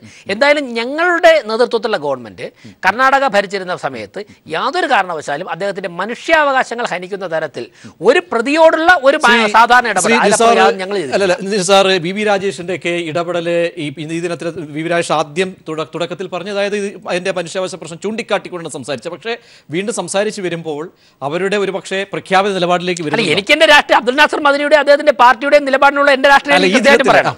ഏത് ദിനത്തിലായാലും. ഞാൻ നിങ്ങളുടെ ചോദ്യത്തിന് ഉത്തരം പറയുന്നതിന് മുമ്പ് ഇ വി രാജേഷ് ഇവിടെ സൂചിപ്പിച്ച ഒരു കാര്യത്തിനൊന്ന് മറുപടി പറഞ്ഞോട്ടെ. അബ്ദുൽ നാസർ മദനി സ്വാതന്ത്ര്യ സമരത്തിൽ പങ്കെടുത്തിട്ടല്ല. അദ്ദേഹം നടത്തിയ ക്രൈം അത്ര വലുതായതുകൊണ്ടാണ് അദ്ദേഹം ജയിലിൽ പോയതെന്നാണ് പറഞ്ഞത്. അബ്ദുൽ നാസർ മദനി പതിനേഴ് വർഷമായി ജയിലിൽ കഴിയുന്നു. ഇന്ന് വരെ അബ്ദുൽ നാസർ മദനിയെ ഇന്ത്യയിലെ ഏതെങ്കിലും ഒരു കോടതി കുറ്റക്കാരനാണെന്ന് കണ്ടെത്തിയിട്ടില്ല എന്ന് മാത്രമല്ല ഒമ്പതര വർഷം ജാമ്യവും ചികിത്സയും എല്ലാം നിഷേധിച്ച് തമിഴ്നാട്ടിൽ ജയിലിലടച്ചിട്ട് ഒമ്പതര വർഷം കഴിഞ്ഞ് കോടതി നിരപരാധിയാണെന്ന് പറഞ്ഞ് വിട്ടയച്ചു. ആ വിട്ടയച്ചതിന് ശേഷം അവിടുത്തെ ഗവൺമെന്റ് ചെന്നൈ ഹൈക്കോടതിയെ സമീപിച്ചു. ചെന്നൈ ഹൈക്കോടതി ആ വിധിയെ എടുത്തു കളഞ്ഞുകൊണ്ട് കൃത്യമായി പറയുകയുണ്ടായി. ഇതുപോലെയുള്ള വികലാംഗനായ നിരപരാധികളായ ആളുകളെ കള്ളക്കേസിൽ കൊടുക്കലല്ല തമിഴ്നാട് പോലീസിന്റെ പണി എന്ന് പറഞ്ഞുകൊണ്ടാണ് ആ അപ്പീൽ തള്ളിയത്. ഒന്ന്. രണ്ട് ഈ ക്രൈമിൽ ഇപ്പോൾ നമ്മുടെ ബി ജെ പിയുടെ സമുന്നതരായ നേതാക്കൾ ബാബരി മസ്ജിദ് പൊളിച്ച കേസിൽ വിചാരണ നേരിടണമെന്ന് രാജ്യത്തെ കോടതികൾ പറഞ്ഞിട്ടുണ്ട്. വി വി രാജേഷ് പറയോ അവർ ചെയ്ത ക്രൈമാണെന്ന് വി വി രാജേഷ് ഈ അഭിപ്രായം അവിടെ പറയോ? പറയാൻ തയ്യാറാവില്ല മറ്റൊന്ന് അബ്ദുല്ലാസർ മദനി മൂന്ന് പ്രാവശ്യം കേരളത്തിൽ വന്നിട്ടുണ്ട്. ഈ മൂന്ന് പ്രാവശ്യം വന്നപ്പോഴും അദ്ദേഹം ബഹുമാനപ്പെട്ട കോടതിയുടെ എല്ലാ നിബന്ധനകളും അംഗീകരിച്ചുകൊണ്ടാണ് കേരളത്തിൽ നിന്നിട്ടുള്ളത്. ഏതെങ്കിലും തരത്തിൽ ബൈലിനെ വയലേറ്റ് ചെയ്യാൻ അദ്ദേഹം ശ്രമിച്ചിട്ടില്ല ചെയ്തിട്ടുമില്ല. ഇപ്പോൾ വി വി രാജേഷ് അവകാശപ്പെടുന്നത് ബി ജെ പി സർക്കാർ ഉണ്ടായിരുന്ന സമയത്ത് അദ്ദേഹത്തിന്റെ ഒരു മനുഷ്യാവകാശവും കവർന്നെടുത്തിട്ടില്ല എന്നാണ് പറയുന്നത്. ഈ ബി ജെ പി അധികാരത്തിലിരിക്കുന്ന സമയത്താണ് അദ്ദേഹത്തിന് ഇങ്ങോട്ട് കൊണ്ടുവരുന്നതുമായി ബന്ധപ്പെട്ട് ബാംഗ്ലൂർ പോലുള്ള ഒരു സിറ്റി ആ സിറ്റിയിൽ നിന്ന് എത്രയോ ഭീകരവാദ കേസുകളിലുള്ള കൊടും ക്രിമിനലുകളെ പല ഭാഗത്തേക്കും ബോംബെയിലേക്കും മറ്റ് സംസ്ഥാനങ്ങളിലേക്കൊക്കെ കൊണ്ടുപോകുന്ന ഫ്ലൈറ്റിൽ കൊണ്ടുപോകുന്ന പോലീസിന് അബ്ദുൽ നാസർ മദിനെ കേരളത്തിലേക്ക് കൊണ്ടുവരാൻ വെപ്പൺ ഇതിൽ ഫ്ലൈറ്റിൽ കയറ്റണോ വേണ്ടോ എന്നുള്ള ആശങ്ക ഉണ്ടായത് അവിടെ നിന്നാണ് കൃത്യമായ ഗൂഢാലോചനയായിരുന്നു. ഈ രണ്ട് സർക്കാരുകളുടെ കാലത്തും കൃത്യമായ ഗൂഢാലോ ഗൂഢാലോചന നടന്നിട്ടുണ്ട് എന്ന് മാത്രമല്ല ഇത് അദ്ദേഹത്തിന് അനുവദിച്ച സമയം. നിങ്ങൾ നോക്കൂ പരിഹാസമാണ്. ഈ ബില്ല് പതിനാലര ലക്ഷം നിങ്ങൾ പറയുന്ന ഈ പതിനാലര ലക്ഷമല്ല. ഇതിൽ പുറമെ ഈ ഉദ്യോഗസ്ഥരുടെ ഇത് കെട്ടിവെക്കണമെന്ന് തെറ്റിദ്ധരിപ്പിക്കാൻ പറയുകയാണ്. കെട്ടിവെക്കേണ്ട തുകയല്ല ഇത്. ഇത് ഗവൺമെന്റിലേക്ക് അടച്ച് ഡി ഡി എടുത്ത് അത് ബോധിപ്പിച്ചാൽ മാത്രമേ അവിടെ ഫയലാവൂ. മറ്റൊന്ന് ഈ വരുന്ന ഉദ്യോഗസ്ഥരുടെ മുഴുവൻ ഫ്ലൈറ്റ് ചാർജും അവരുടെ താമസം സൗകര്യം പത്തൊമ്പത്. ഉദ്യോഗസ്ഥന്മാരുടെ. ഇപ്പൊ അത് സർക്കാർ പ്രത്യേക സാഹചര്യം എന്നൊക്കെ പറയുന്നല്ലോ. രണ്ടായിരത്തി പതിനാറിൽ എന്താ ഈ സാഹചര്യം ഉണ്ടായിരുന്നോ? എന്ത് സാഹചര്യമാണ് ഇവിടെ നിലനിൽക്കുന്നത്. പതിനാറിൽ ഒറ്റ സെക്കൻഡ് ഒന്ന് പൂർത്തിയായിക്കോട്ടെ രണ്ടായിരത്തി പതിനാറിൽ അഞ്ച് പോലീസുകാരുടെ അകമ്പടിയോടുകൂടി വിടുകയും രണ്ടായിരത്തി പിന്നെ പതിനഞ്ച് പതിനഞ്ചിൽ അഞ്ച് പോലീസുകാരുടെ അന്നും കോടതി പറഞ്ഞിരുന്നു സെക്യൂരിറ്റി കൊടുക്കണമെന്ന്. രണ്ടായിരത്തി പതിനാറിൽ എയർപോർട്ട് വരെ വന്നിട്ട് തിരിച്ചുപോയി. ഇവിടെ കേരള പോലീസാണ്. ഒരു സ്റ്റേറ്റിനെ തെരഞ്ഞെടുക്കപ്പെട്ട ഒരു സ്റ്റേറ്റിനെ വിശ്വാസത്തിലെടുക്കാൻ എന്തുകൊണ്ടാണ് കർണാടക ഗവൺമെന്റിന് കഴിയാതെ പോകുന്നത്? ഇത് കൃത്യമായ ഗൂഢാലോചനയാണ്. ഗൂഢാലോചനയിൽ കോൺഗ്രസിന്റെ നിലപാട് എന്താണ്? ശ്രീ ജ്യോതികുമാർ ചാമക്കാല കൂടി തത്സമയം നമ്മോടൊപ്പം കെ പി സി സിയുടെ സെക്രട്ടറി ചേരും. ശ്രീ ജ്യോതികുമാർ ചാമക്കാല ചർച്ചയിൽ പങ്കെടുത്ത മുതിർന്ന അഭിഭാഷകൻ ശ്രീ ശിവൻമഠത്തിലൊക്കെ ചൂണ്ടിക്കാട്ടിയ കാര്യമുണ്ട്. അതായത് നിയമലംഘനങ്ങൾ ഒരുപക്ഷെ ഇതിലെ പിഴവുകളാണ് അദ്ദേഹം ചൂണ്ടിക്കാട്ടിയത്. പർവതീകരണം ഉണ്ടോ ഇല്ലയോ എന്നുള്ള സംശയം സ്വാഭാവികമായും പ്രേക്ഷകർക്കും പൊതുസമൂഹത്തിനും തോന്നുന്നു. ഇവിടെ കർണാടക സർക്കാർ അവിടെ കർണാടക ഭരിക്കുന്നത് നിങ്ങളുടെ പാർട്ടിയാണ്. അവിടെ സ്വാഭാവികമായും നിങ്ങൾക്ക് ഇടപെടൽ നടത്താനുള്ള വലിയ വിശാലമായ തലങ്ങളുണ്ട്. ആ തലം ഒരു പക്ഷേ ഇന്ന് ബഹുമാനപ്പെട്ട പ്രതിപക്ഷ നേതാവ് ഉപയോഗിക്കുകയും ചെയ്തിട്ടുണ്ട്. പക്ഷേ ഇതൊക്കെ ഉണ്ടെങ്കിൽ കൂടിയും വലിയ ഇവിടെ ബി ജെ പി ഭരിച്ചാലും ശരി കോൺഗ്രസ് ഭരിച്ചാലും ശരി അബ്ദുൽ നാസർ കാര്യത്തിൽ മാത്രം ഈ അസ്വാഭാവികത എന്തുകൊണ്ടുണ്ടാകുന്നു അത് ഒരു പക്ഷേ ഒരു നീതി നിഷേധത്തിന്റെ നഗ്നമായ അടയാളമായി എന്തുകൊണ്ട് ഈ ദിനത്തിൽ പോലും ഈ മകന്റെ വിവാഹ ചടങ്ങിൽ പോലും ഒരു പക്ഷേ നാസർ മദിനിയുടെ കാര്യം വേറിട്ടതായി മാറും? ശ്രീ ജ്യോതികുമാർ. അല്ല പ്രതീക്ഷേ എൻ ഐ എ കോടതി അദ്ദേഹത്തിന്റെ മാതാപിതാക്കളെ കാണാനും അതിനുശേഷം സുപ്രീം കോടതി അദ്ദേഹത്തിന്റെ മകന്റെ വിവാഹത്തിൽ പങ്കെടുക്കാനും അദ്ദേഹത്തിന് അനുമതി നൽകിയിട്ടുണ്ട്. അദ്ദേഹത്തിന്റെ പേരിൽ ചാർജ് ചെയ്തിട്ടുള്ള കേസിനെ സംബന്ധിച്ചുള്ള വിഷയങ്ങളിലേക്കൊന്നും ഞാൻ കിടക്കുന്നില്ല. കാരണം അത് കോടതിയുടെ പരിഗണനയിലുമാണ്. ഇവിടെ സ്വാഭാവികമായും അദ്ദേഹത്തിന് അദ്ദേഹം നാട്ടിലേക്ക് കേരളത്തിലേക്ക് വരുന്നതിനും തിരിച്ചു പോകുന്നതിനുള്ള ചെലവ് കൊടുക്കണമെന്ന് സുപ്രീം കോടതി പറഞ്ഞു എന്നതിന്റെ പേരിൽ ഇത്രയും ഭീമമായ തുക അടിച്ചേൽപ്പിക്കുന്നത് ഒരു സിറ്റി പോലീസ് കമ്മീഷണറെ പോലെ ഒരാൾക്ക് യോജിച്ചതല്ല. അദ്ദേഹം ഏത് മാനദണ്ഡത്തിലാണ് ഇത്തരം കാര്യങ്ങളിലേക്ക് എത്തിയിരിക്കുന്നതെന്ന് ഞങ്ങൾക്കറിയില്ല. മറിച്ച് ഈ വിഷയം ശ്രദ്ധയിൽപ്പെട്ട ഉടൻ പി ഡി പിയുടെ സംസ്ഥാന നേതാക്കൾ ശ്രദ്ധയിൽപ്പെടുത്തിയ ഉടൻ അല്ലെങ്കിൽ വാർത്താ മാധ്യമങ്ങളുടെ ശ്രദ്ധയിൽപ്പെട്ട ഉടൻ പ്രതിപക്ഷ നേതാവ് തന്നെ കേരള മുഖ്യമന്ത്രിയെയും വിളിച്ചു കർണാടക മുഖ്യമന്ത്രിയെയും വിളിച്ചു കേരള മുഖ്യമന്ത്രി കേരളത്തിലേക്ക് വരുന്നതിന്റെ ഇവിടുത്തെ സുരക്ഷാ ക്രമീകരണങ്ങൾ അദ്ദേഹം കേരള സംസ്ഥാനം തന്നെ വഹിക്കാമെന്ന് പറഞ്ഞു. കർണാടക മുഖ്യമന്ത്രിയോടും ഈ വിഷയം ഇവിടെ മുഖ്യമന്ത്രി ഇങ്ങനെ സമ്മതിച്ചിട്ടുണ്ടെന്ന് പ്രതിപക്ഷ നേതാവ് അറിയിച്ചിട്ടുണ്ട്. സ്വാഭാവികമായും അതിനകത്ത് ഇന്നോ ഇന്ന് തന്നെ ഒരു തീരുമാനം ഉണ്ടാവില്ല ഇന്നലെ നാളെ തീരുമാനം ഉണ്ടാകുമെന്നാണ് നമ്മൾ പ്രതീക്ഷിക്കുന്നത്. സംസ്ഥാന സർക്കാരും നേരിട്ട് മുഖ്യമന്ത്രി തന്നെ അദ്ദേഹത്തെ സംസ്ഥാന കർണാടക മുഖ്യമന്ത്രിയെ രേഖാമൂലം അറിയിച്ചു എന്നാണ് ഞാൻ മനസ്സിലാക്കിയിട്ടുള്ളത് വാർത്തകളിൽ നിന്ന് മനസ്സിലാക്കിയത്. അതുകൊണ്ട് തന്നെ ഇക്കാര്യത്തിൽ ഒരു തീരുമാനം ഉണ്ടാകുമെന്നാണ് പ്രതീക്ഷിക്കേണ്ടത്. അത്തരത്തിലൊരു തീരുമാനം ഉണ്ടാകേണ്ടതുണ്ട്. ഒരു മനുഷ്യന് കോടതി കൊടുത്ത പെർമിഷന്റെ പുറത്ത് സംസ്ഥാനത്ത് വന്ന് മടങ്ങുന്നതിന് ഇത്രയും ഭീമമായ തുക കെട്ടിവെക്കണമെന്നൊക്കെ പറയുന്നത് കെട്ടുകഴിവില്ലാത്ത കാര്യമാണ്. അത് ഏത് സാഹചര്യത്തിലാണ് ഇത്തരം ഒരു എനിക്ക് മുമ്പ് സംസാരിച്ച ആദ്യം തുടങ്ങി വെച്ച പി ഡി പിയുടെ സുഹൃത്ത് പറഞ്ഞത്. ഒരു ഏതോ ഒരു ഉദ്യോഗസ്ഥൻ കോടതി ഉദ്യോഗസ്ഥൻ എഴുതി കൊടുത്തത് അതുപോലെ സിറ്റി പോലീസ് കമ്മീഷണർ അംഗീകരിച്ചു എന്നാണ്. അതായത് ഇവരൊക്കെ ഈ പി- ഈ പി ഡി പി അടക്കം എന്തുകൊണ്ട് നിങ്ങളുടെ നിലപാടുകളെ അല്ലെങ്കിൽ ഇടപെടലിനെ വിശ്വാസത്തിൽ എടുക്കുന്നില്ല അതാണ് ഒരു ചോദ്യം. കാരണം ഇത് ഇന്നത്തെ ഒരു സംഭവം. അത് സമയോചിതമായി ഇടപെട്ട് കാണും പക്ഷേ ഈ മദിനിയുടെ കാര്യത്തിൽ മദിനിയുടെ തുടർച്ചയായി ഈ പറയുന്ന ഇതൊന്നും ആദ്യത്തെ സംഭവമല്ല. ഓരോ ദിവസങ്ങളിൽ അല്ലെങ്കിൽ ഓരോ കാലങ്ങളുണ്ട് ഇത് ഇതൊക്കെ ബി ജെ പി ഒരു പക്ഷേ വി വി രാജ് അവർക്കൊരു നിലപാടുണ്ടായിരിക്കും പ്രഖ്യാപിത നിലപാട് അക്കാര്യത്തിലുണ്ടായി അത് നമുക്ക് പിന്നീട് ചർച്ച ചെയ്യേണ്ട വിഷയമാണ്. ഇക്കാര്യത്തിൽ വിശ്വാസത്തിലെടുക്കാൻ കാരണം അവിടെ ഭരിക്കുന്ന ഇടപെടുന്ന ഒരു സർക്കാരാണ്. നിങ്ങളിൽ നിന്നും പ്രതീക്ഷിച്ചതിന് അപ്പുറത്തേക്കാണ് കാര്യങ്ങൾ. ബി ജെ പിയിൽ നിന്നും പ്രതീക്ഷിക്കുന്നതിന് അപ്പുറത്തേക്ക് പോകുന്നുണ്ട് എന്നൊരു തോന്നലിലേക്ക് പി ഡി പിക്ക് പോകേണ്ടി വരുന്നത് എന്തുകൊണ്ടാണ്? പ്രതീക്ഷ അനാവശ്യമായ തലത്തിലേക്ക് ചർച്ച കൊണ്ടുപോകേണ്ട കാര്യമില്ല. വളരെ ക്ലിയർ ആണ് കാര്യങ്ങൾ. അവിടെ സംസ്ഥാനത്ത് ഈ ഇപ്പോൾ കോടതിയുടെ പരിഗണനയിലിരിക്കുന്ന ഒരു വിഷയത്തെ സംബന്ധിച്ച് നമുക്ക് ആർക്കും ഒന്നും പറയാൻ കഴിയില്ല. ആ കേസുമായി ബന്ധപ്പെട്ട വിഷയങ്ങളെ സംബന്ധിച്ച്. മറിച്ച് ഇന്നിപ്പോൾ ഉണ്ടായിരിക്കുന്ന കഴിഞ്ഞ എൻ ഐ എയുടെ ജഡ്ജ്മെന്റ് അദ്ദേഹത്തിന്റെ മാതാപിതാക്കളെ കാണുന്നതിനും അതിനുശേഷം സുപ്രീം കോടതി അദ്ദേഹത്തിന്റെ മകന്റെ വിവാഹ ചടങ്ങിൽ പങ്കെടുക്കുന്നതിനും സംബന്ധിച്ചിരിക്കുന്നതുമായി ബന്ധപ്പെട്ട ചെലവിനെ സംബന്ധിച്ചാണ് ഇപ്പോൾ തർക്കം നിൽക്കുന്നത്. ബാക്കിയെല്ലാം കോടതിയുടെ പരിഗണനയിലാണ്. പിന്നെ ഈ ആവശ്യമായി അല്ലെങ്കിൽ അവസരവാദപരമായി ഇടപെട്ടിട്ടുള്ളതും സഹകരിച്ചിട്ടുള്ളതും ഇടപെടുത്തിയിട്ടുള്ളതും കേരളത്തിലെ ഇടതുപക്ഷം മാത്രമാണ് ഈ വിഷയത്തിൽ. പലപ്പോഴും ശ്രീ മദനിയെ പിന്നെ മദനി സമൂഹത്തിന് മുന്നിൽ കുറ്റക്കാരനായ സംശയം നിലനിൽക്കുമ്പോൾ അദ്ദേഹത്തെ തള്ളിപ്പറയുകയും അദ്ദേഹത്തിന് അനുകൂലമായി ജനവികാരം ഉണ്ടാകുമ്പോൾ അദ്ദേഹത്തെ തോളിലേറ്റുകയും ചെയ്തിട്ടുള്ളത് എന്നും ഇടതുപക്ഷം തന്നെയാണ് കേരളത്തിൽ അങ്ങനാണോ? ഇത് കോൺഗ്രസ്സുകാരെ ഇപ്പം ഞാൻ ചോദിക്കട്ടെ ഇവിടെ വളരെ വളരെ സിമ്പിളായ ഒരു കാര്യമാണല്ലോ. ഇവരുടെ ഗവൺമെന്റ് ആണല്ലോ അവിടെ ഭരിക്കുന്നത്. കേന്ദ്രം ഭരിക്കുന്നത് ഇവരുമല്ല. മണ്ണാണെങ്കിൽ പിന്നെ അവർ ഭരിക്കുമ്പോൾ അങ്ങനെയൊക്കെ ആകാൻ നോക്കാം. ഇന്നിപ്പോൾ അവർക്ക് പ്രതീക്ഷ ഞാൻ ഞാൻ- അല്ല ഇന്ത്യയിൽ പറഞ്ഞോട്ടെ ചോദ്യം ഞാൻ. പറഞ്ഞോട്ടെ. അങ്ങനെ ഒന്നുമുള്ള ഒരു ബാധ്യത ഇപ്പോൾ അവർക്കില്ല. അബ്ദുൾ നാസർ മദനി കഴിഞ്ഞ പതിനേഴ് വർഷമായിട്ട് വിചാരണ തടവുകാരനായി കഴിഞ്ഞുകൊണ്ടിരിക്കുകയാണ്. ഇത്രയും വലിയ കൊലപാതകങ്ങൾ നടത്തിയിട്ടുണ്ടെങ്കിൽ അതിനുശേഷം നടന്ന ബോംബാക്രമണങ്ങളും മറ്റൊക്കെ നമ്മുടെ ബോംബിൽ കിടന്നുള്ള ഹോട്ടലാക്രമണങ്ങളൊക്കെ ഉണ്ടായാലും? അതിനകത്തൊക്കെ നടപടി ഉണ്ടായല്ലോ? ഇതിനകത്ത് എന്താണ് ഇങ്ങനെ പോകുന്നത്? ഇതിനകത്തൊരു പ്രത്യേക അജണ്ട. അജണ്ട വെച്ചുകൊണ്ട് അതുകൊണ്ടാണല്ലോ ഇപ്പോൾ ഇത് കണ്ടില്ലേ? പത് നാൽപ്പ എത്ര? നാൽപ്പത്തിയാറ് ലക്ഷം. ആ പതിനാല് ലക്ഷം. അത് മാത്രമല്ല അത് അവിടെ ഇപ്പോൾ അവർ അവിടെ എടുത്ത് കൊണ്ട് കൊടുക്കണം. അത് കഴിഞ്ഞിട്ട് പിന്നെ ഈ വരുന്നവരൊക്കെ ചിലവ് വേറെ വേണം. ഇതെന്തൊരു ന്യായമാണിത്? ഇത് ഇത് ലോകത്ത് ഒരിടത്തും കേട്ടിട്ടുള്ളതാണ്. അതായത് ഓരോ സംഭവങ്ങളിൽ പോലും ഗൂഢാലോചന വരുന്നു. ഉണ്ട്. അങ്ങോർക്ക് ഈ ദിവസങ്ങളിൽ ഇവിടെ വന്ന് അദ്ദേഹത്തിന്റെ കുടുംബം കർണാടക സർക്കാരിന് ഇതൊക്കെ വേണമെങ്കിൽ തീർക്കാമായിരുന്നു. ഇത് കർണാടക സർക്കാരിൽ അവിടെ എന്തെങ്കിലും നടക്കണ കൈക്കൂലി കൊടുക്കണമെന്ന്. ഇതുപോലൊരു സർക്കാർ ആകെ കൂടി ഒരു തുരുത്താണ് ഇപ്പോൾ അവിടെ ഉള്ളത് അല്ലല്ല എസ് ആർ എസ് ഞങ്ങളെ കുറിച്ച് ഇത് തന്നെയാണല്ലോ പറയണത്. ബംഗാളിലില്ല അവിടെ ഇല്ല ഇവിടെ ഇല്ല. ഇവർക്ക് ഇപ്പോൾ എവിടെയുണ്ട് ഞാൻ ചരിത്രത്തിൽ ആദ്യമായി ബംഗാളിൽ ഒരു രാജ്യസഭ സ്ഥാനാർത്ഥി നിർത്താൻ പറ്റിയിട്ടുണ്ടെങ്കിൽ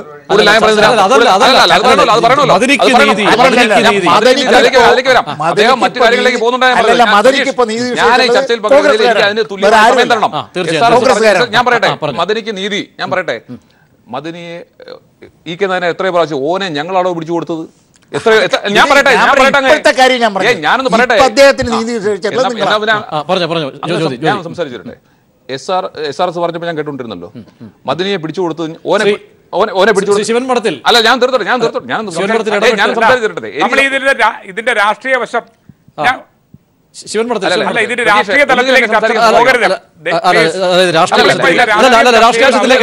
രാഷ്ട്രീയ വശത്തിലേക്കല്ല പോകുന്നത്. ഞാൻ ജ്യോതി അല്ല രാഷ്ട്രീയ വശമല്ല മനുഷ്യത്വപരമായ എനിക്ക് സംസാരിക്കാൻ സമയം പറഞ്ഞോളൂ പറഞ്ഞോളൂ ഞാൻ സംസാരിക്കട്ടെ. ഇവിടെ ഞാൻ പറഞ്ഞത് എൽ ഡി എഫിന്റെ ഇരട്ടത്താപ്പിനെ കുറിച്ചാണ് മദനയോടുള്ള ഇരട്ടത്താപ്പിനെ കുറിച്ച് ഒന്ന് അദ്ദേഹത്തെ പിടിച്ചു കൊടുത്തതിന് വേണ്ടി വാനോളും പിന്നെ ഓരോ ഓരോ സംസാരിച്ചു നടന്നാണ് ശ്രീ കെ നായനാർ. അതിനുശേഷം അദ്ദേഹത്തിനെ ആദ്യത്തെ കേസിൽ കുറ്റവിമുക്തനായി തിരിച്ചു വന്നപ്പോൾ ഇവിടെ ശംഖുമുഖത്ത് സ്വീകരണം കൊടുത്തപ്പോൾ ആരൊക്കെ പോയിട്ടുള്ളത്. അതിനുശേഷം അദ്ദേഹത്തെ പിന്നെ രണ്ടത്താണിയുടെ ഇലക്ഷന്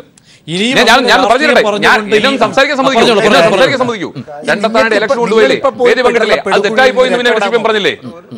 പിന്നീട് സി പറഞ്ഞില്ലേ? വീണ്ടും ഇപ്പോ അത് ഞാൻ പറഞ്ഞത് ശ്രീ മദനിക്ക് പിന്നെ ജനങ്ങളിൽ നിന്നും പൊതുസമൂഹത്തിൽ നിന്നും അനുകൂലമായ വികാരം ഉണ്ടാകുമ്പോൾ അതിന്റെ കൂടെ ചേരുകയും മദനിക്ക് എതിരായ വികാരം ഉണ്ടാകുമ്പോൾ തള്ളിപ്പറയുകയും ചെയ്യുന്ന സി പി എമ്മിന്റെ ഇരട്ടത്താപ്പാണെന്ന് ഞാൻ പറഞ്ഞോളൂ പക്ഷേ ഈ വിഷയത്തെ സംബന്ധിച്ച് ഇപ്പോൾ കോടതിയിൽ നിൽക്കുന്ന വിഷയത്തെ സംബന്ധിച്ച് ഇപ്പോൾ ഞാൻ മനസ്സിലാക്കുന്നത് നാളെ പി ഡി പി കോടതിയിൽ പോകുന്നുണ്ട്.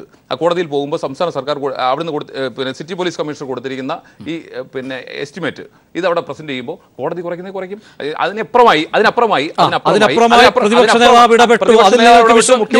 കേരള. സംസ്ഥാനത്തെ പ്രതിപക്ഷവും ഭരണപക്ഷവും ഒരുപോലെ കേരളത്തിൽ അദ്ദേഹം വരുമ്പോഴുള്ള അദ്ദേഹത്തിന്റെ സുരക്ഷാ ക്രമീകരണങ്ങളെ സംബന്ധിച്ചുള്ള മുഴുവൻ ചെലവും വഹിക്കാമെന്ന് പ്രതിപക്ഷ നേതാവ് ആവശ്യപ്പെടുകയും മുഖ്യമന്ത്രി അംഗീകരിക്കുകയും കർണാടകത്തിലെ മുഖ്യമന്ത്രി അറിയിക്കുകയും ചെയ്തിട്ടുണ്ട്. അതിനപ്പുറം എന്താ കേരളത്തിന് ചെയ്യാൻ കഴിയുക? ശ്രീ ശിവൻ മഠത്തിൽ അതായത് സ്വയം കൃതാനർത്ഥമാണ് കാര്യങ്ങളെന്ന് അതായത് സംഘപരിവാർ നേതാക്കൾ പറഞ്ഞത് സ്വയം കൃതാനർത്ഥം അതായത് മതിലിന്റെ കാര്യത്തിൽ. അത് അവരുടെ ഒരു പക്ഷേ നിലപാടായിരിക്കും. പക്ഷേ ഈ വിഷയത്തെ ഒരു രാഷ്ട്രീയവൽക്കരിച്ച് വീണ്ടും മതിനിയുടെ കാര്യത്തിൽ അവിടെയാണ് ആത്യന്തികമായി മതിനിയോടുള്ള നീതി.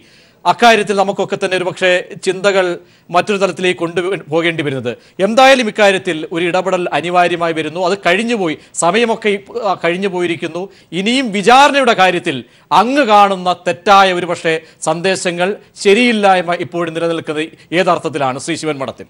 വിചാരണയുടെ കാര്യത്തിൽ.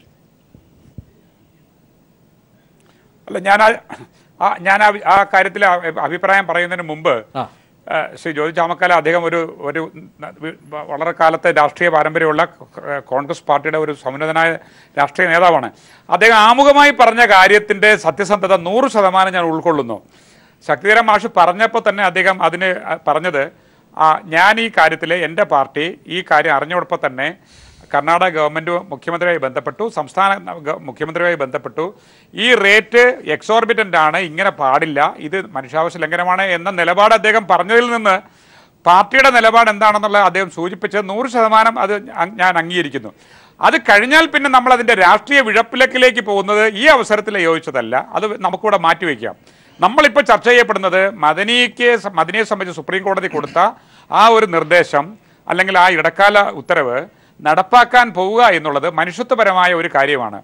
മകന്റെ കല്യാണത്തിൽ പങ്കെടുക്കാൻ ഒരു ബാപ്പയ്ക്കുള്ള അല്ലെങ്കിൽ ഒരു പിതാവിനുള്ള ഒരു അവസരം നമ്മൾ മാനുഷികമായി കാണേണ്ട ഒരു കാര്യമാണ്. ആ കാര്യത്തിൽ നിന്നുകൊണ്ട് ഊന്നി നിന്നുകൊണ്ടായിരിക്കണം നമ്മൾ ചർച്ച ചെയ്യേണ്ടത്. അതുകൊണ്ട് ആ ചർച്ചയിൽ പങ്കെടുത്തിട്ടുള്ള ശക്തികരമാഷം ഞാനും ശ്രീ രാജേഷ് രാഷ്ട്രീയപരമായ നിലപാട് പറഞ്ഞെങ്കിലും എല്ലാവരും എടുത്തിട്ടുള്ള ഒരു പൊതുവികാരം ഇതൊരു മനുഷ്യാവകാശ പ്രശ്നവും ഇതൊരു മാനുഷികമായി പരിഗണിക്കേണ്ട ഒരു കാര്യം അതിന്റെ ധാർമ്മിക വശമാണ്.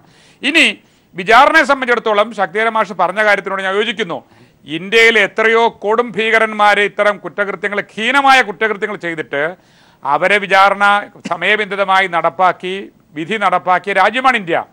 ആ വിധി നടപ്പാക്കിയതും വിധി കൊടുത്തതിന്റെ ശരിയും തെറ്റുകളിലേക്കൊന്നും ഞാൻ പോകുന്നില്ല. അപ്പം മദനിയെ സംബന്ധിച്ചിടത്തോളം വിചാരണ തടവ് പ്രീ ട്രയൽ പ്രസിഡന്റായിട്ട് വർഷങ്ങളോളം ജയിലിൽ കിടക്കുന്നത് കടുത്ത മനുഷ്യാവകാശ ലംഘനമാണ്. അദ്ദേഹം ചെയ്ത കുറ്റം ആ കോടതി സമയബന്ധിതമായി തന്നെ വിചാരണ നടത്തി അദ്ദേഹം കുറ്റക്കാരനാണെങ്കിൽ ശിക്ഷിക്കുന്ന കാര്യത്തിൽ ആരും എതിരില്ല. ഇനി അല്ല എങ്കിൽ അദ്ദേഹം ഈ നീണ്ട കാലം അവിടെ കിടന്നിട്ട് നാളെ അദ്ദേഹം മദ്രാസ് ഹൈക്കോടതി പറഞ്ഞതുപോലെ അദ്ദേഹം കുറ്റക്കാരനല്ല എന്ന് പറഞ്ഞാൽ ഈ ആർക്കെങ്കിലും അദ്ദേഹത്തിനെ കോമ്പൻസേറ്റ് ചെയ്യാൻ പറ്റും. അദ്ദേഹത്തിന് നഷ്ടപ്പെട്ട ദിനങ്ങളും അദ്ദേഹം അനുഭവിച്ച മാനസിക പീഡനങ്ങളും ഒക്കെ തന്നെ. അപ്പോൾ തീർച്ചയായിട്ടും അദ്ദേഹത്തെ ഒരു പ്രീ ട്രയൽ പ്രിസണർ എന്ന് പറഞ്ഞ് നീണ്ട കാലം ഇങ്ങനെ ജയിലിലിടുന്നത് അതിന്റെ എന്ത് അജണ്ട പൊളിറ്റിക്കൽ അജണ്ട അതിന്റെ പുറകിലുണ്ടെങ്കിലും നിയമത്തിന്റെയും ധാർമ്മികതയുടെയും പേരിൽ ഒരിക്കലും അംഗീകരിക്കാൻ കഴിയില്ല. അദ്ദേഹത്തിന് എത്രയും പെട്ടെന്ന് അദ്ദേഹത്തിന്റെ അദ്ദേഹം ചെയ്തിട്ടുള്ള കുറ്റത്തെ സംബന്ധിച്ചിടത്തുള്ള ആരോപിക്കപ്പെട്ട കുറ്റങ്ങൾക്ക് വിചാരണ നടത്തി ഒന്നുകിൽ ശിക്ഷിക്കാനുണ്ടെങ്കിൽ ശിക്ഷിക്കണം അല്ലെങ്കിൽ അദ്ദേഹത്തിന് അക്യൂറ്റഡ് ആണെങ്കിൽ അക്യൂറ്റ് ചെയ്യുന്നുള്ള ബാധ്യത ഈ രാജ്യത്തെ നിയമവ്യവസ്ഥ അംഗീകരിക്കുന്നവർക്കുണ്ട്. അതുകൊണ്ട് ഇപ്പോൾ അദ്ദേഹം തുടരുന്ന കാര്യത്തെക്കുറിച്ച് ഒറ്റ ചോ വാക്കിൽ പറഞ്ഞാൽ കടുത്ത മനുഷ്യാവകാശ ലംഘനമാണ് ഇപ്പം നടന്നുകൊണ്ടിരിക്കുന്നത്. എന്ന് ആര് ഭരിച്ചാലും എന്ത് ചെയ്താലും ഇത്രയും കാലം. അത് ബഹുമാനനായ ജസ്റ്റിസ് ബി ആർ കൃഷ്ണയർ മദനിയുമായി ബന്ധപ്പെട്ടുകൊണ്ട് ഈ വിഷയം വന്നപ്പോൾ തന്നെ അദ്ദേഹം എടുത്ത ഒരു വളരെ ശക്തമായ നിലപാട്. മദനി കുറ്റക്കാരനാണെങ്കിൽ സമയബന്ധിതമായി ട്രയൽ നടത്തി അദ്ദേഹത്തിന് ശിക്ഷിക്കണം. അല്ലെങ്കിൽ അദ്ദേഹത്തെ എത്രയും വേഗം ജയിൽ മോചിതനാക്കണം. അദ്ദേഹം മറ്റേതെങ്കിലും രീതിയിലുള്ള കുറ്റങ്ങളുണ്ടെങ്കിൽ ഓരോ പ്രാവശ്യവും ഓരോന്ന് കൂട്ടിച്ചേർത്ത് എന്നും അദ്ദേഹം ജയിലിൽ കിടക്കുന്ന അവസ്ഥയിലേക്ക് പോകുന്ന രാഷ്ട്രീയ താല്പര്യം അത് ആര് ഭരിച്ചാലും അത് ശ്രീ ചാമക്കാല പറഞ്ഞത് കോൺഗ്രസ് ആണോ മാർക്സിസ്റ്റ് പാർട്ടിയാണോ അല്ല ഇടതുപക്ഷമാണോ വലതുപക്ഷമാണോ അതൊന്നും ഇവിടെ പ്രസക്തമല്ല. നിയമത്തിന്റെ മുമ്പിൽ അദ്ദേഹത്തിന് കിട്ടേണ്ട പരിഗണന കിട്ടണം. ഒരു പ്രീ ട്രയൽ പ്രിസണറായി വർഷങ്ങൾ കിടക്കുന്നത് നിയുക്തമല്ല അധാർമികമാണ്. നിയമം അത് അതിന്റെ എല്ലാ ചേതോവികാരങ്ങളെയും ഉൾക്കൊള്ളുന്ന ഒരു വ്യവസ്ഥിതി നിലനിൽക്കുന്ന ഇന്ത്യ പോലെ രാജ്യത്ത് നീണ്ടകാലം ഇങ്ങനെ പതിനേഴ് വർഷം ജയിലിൽ കിടക്കുന്നതിനൊന്നും ഒരിക്കലും അംഗീകരിക്കാൻ കഴിയില്ല. അത് അത് പാടില്ല. അതുകൊണ്ട് ശ്രീ ക്ഷേമക്കാലോട് എനിക്കുള്ള ഒരു അപ്പീൽ അങ്ങയുടെ പാർട്ടി ഭരിക്കുന്ന കർണാടക ഗവൺമെന്റിനോട് അദ്ദേഹത്തിന്റെ പേരിലുള്ള ട്രയൽ സമയബന്ധിതമായി നടത്തി അദ്ദേഹത്തിന് ശിക്ഷിക്കാണെങ്കിൽ ശിക്ഷിക്കാം അല്ലെങ്കിൽ അദ്ദേഹത്തിന് ജയിൽ മോചനാക്കാം. അതാണ് നിങ്ങൾ ചെയ്യുന്നത് ചെയ്യേണ്ടത്. തീർച്ചയായും. ശ്രീ വി വി രാജേഷ് അതായത് ശ്രീ ശിവൻ മഠത്തിൽ പറഞ്ഞതിനൊപ്പം ചേർത്ത് വായിക്കേണ്ട ഒരു കാര്യമുണ്ട്. അതായത് ഈ പറഞ്ഞ വിചാരണയുടെ കാര്യത്തിൽ പല ഇൻസിഡൻസ് ആണ് അദ്ദേഹം ഒരുപക്ഷെ പേരെടുത്ത് പറയാതെ പറഞ്ഞത്. അതോടൊപ്പം തന്നെ പ്രസംഗങ്ങളിലേക്കൊക്കെ വരാം. ഇതിലേക്കൊക്കെ വന്നു കഴിഞ്ഞാൽ ബാൽ താക്കറെയൊക്കെ ഇന്ത്യയിൽ ജീവിച്ചിരുന്ന പ്രസംഗങ്ങളൊക്കെ നടത്തിയ ഇടപെടൽ നടത്തിയ വ്യക്തി. ഞാൻ ഒരുപാട് ഉദാഹരണങ്ങളിലേക്ക് ഇന്ന് ഞാൻ പോകുന്നില്ല. കേരളത്തിലടക്കം ഒരു പക്ഷേ ഉണ്ടായേക്കാം. ഇതൊക്കെ മദിനിയുടെ കാര്യത്തിൽ മാത്രം വരുമ്പോൾ മദിനിയിലേക്ക് അല്ലെങ്കിൽ ഒരു ഏകത്വത്തിൽ അല്ലെങ്കിൽ ഒരു മനുഷ്യനായി അല്ലെങ്കിൽ ഇന്ത്യയിൽ കാണുന്ന ഒരു ഉദാഹരണമായി അല്ലെങ്കിൽ മാത്രം ചിത്രീകരിക്കപ്പെടുന്നതിൽ ഒരു ബോധപൂർവമായ ഇടപെടലുണ്ടോ ഈ ചെറിയ ഇൻസിഡൻസിൽ പോലും നമുക്ക് കേരളം ഇങ്ങനെ ജാഗ്രതയോടുകൂടി ഈ വിഷയം സംസാരിക്കണമെങ്കിൽ. അതിന്റെ ഒരു കാര്യമുള്ള ഒന്ന് നമ്മുടെ ജുഡീഷ്യൽ സിസ്റ്റത്തിന് ഇന്ത്യൻ ജുഡീഷ്യൽ സിസ്റ്റത്തിന് നമ്മൾ അതിലേക്ക് എത്തുന്നില്ല. അല്ല ഞാൻ പറയാൻ പോലും സംബന്ധിച്ച് അതിൽ നമ്മളൊക്കെ അംഗീകരിച്ചാണ് ഒരുപാട് പോരായ്മകളുണ്ട്. അതിന്റെ ഭാഗമായി തന്നെയാണ് അടൽ വാജ് അടൽ ബിഹാരി വാജ്പേയി പ്രധാനമന്ത്രിയായപ്പോൾ ഫാസ്റ്റ് ട്രാക്ക് കോടതികൾക്ക് പ്രത്യേക ഫണ്ട് ആരംഭിക്കുകയും നൽകുകയും കോടതികൾ അനുവദിച്ച്. ഒരുപാട് കേസുകൾ നമുക്ക് പെട്ടെന്ന് തീർപ്പാക്കാൻ സാധിക്കും. എങ്കിലും ലക്ഷക്കണക്കിന് കേസുകൾ കെട്ടിക്കിടക്കുന്നുണ്ട്. ഇരകൾക്ക് നീതി കിട്ടാതെ കെട്ടിക്കിടക്കുന്നുണ്ട്. അത് സ്പീഡപ്പ് ചെയ്യാൻ വേണ്ടിയുള്ള ഒരു സിസ്റ്റത്തിന്റെതായ ഒരു ചേഞ്ച് ഉണ്ടേകേണ്ടത് ഉണ്ടാകേണ്ടതായിട്ടുണ്ട്. അബ്ദുൽ നാസർ മദിനിയെ പോലെ അബ്ദുൽ നാസർ മദിനി മാത്രമല്ല അറിയപ്പെടാത്ത ആയിരക്കണക്കിന് ലക്ഷക്കണക്കിന് പേർ. അവരുടെ പൊളിറ്റിക്സോ സമുദായമോ ഒന്നും ഞാൻ പറയുന്നില്ല. അല്ല ഇത് ഞാൻ-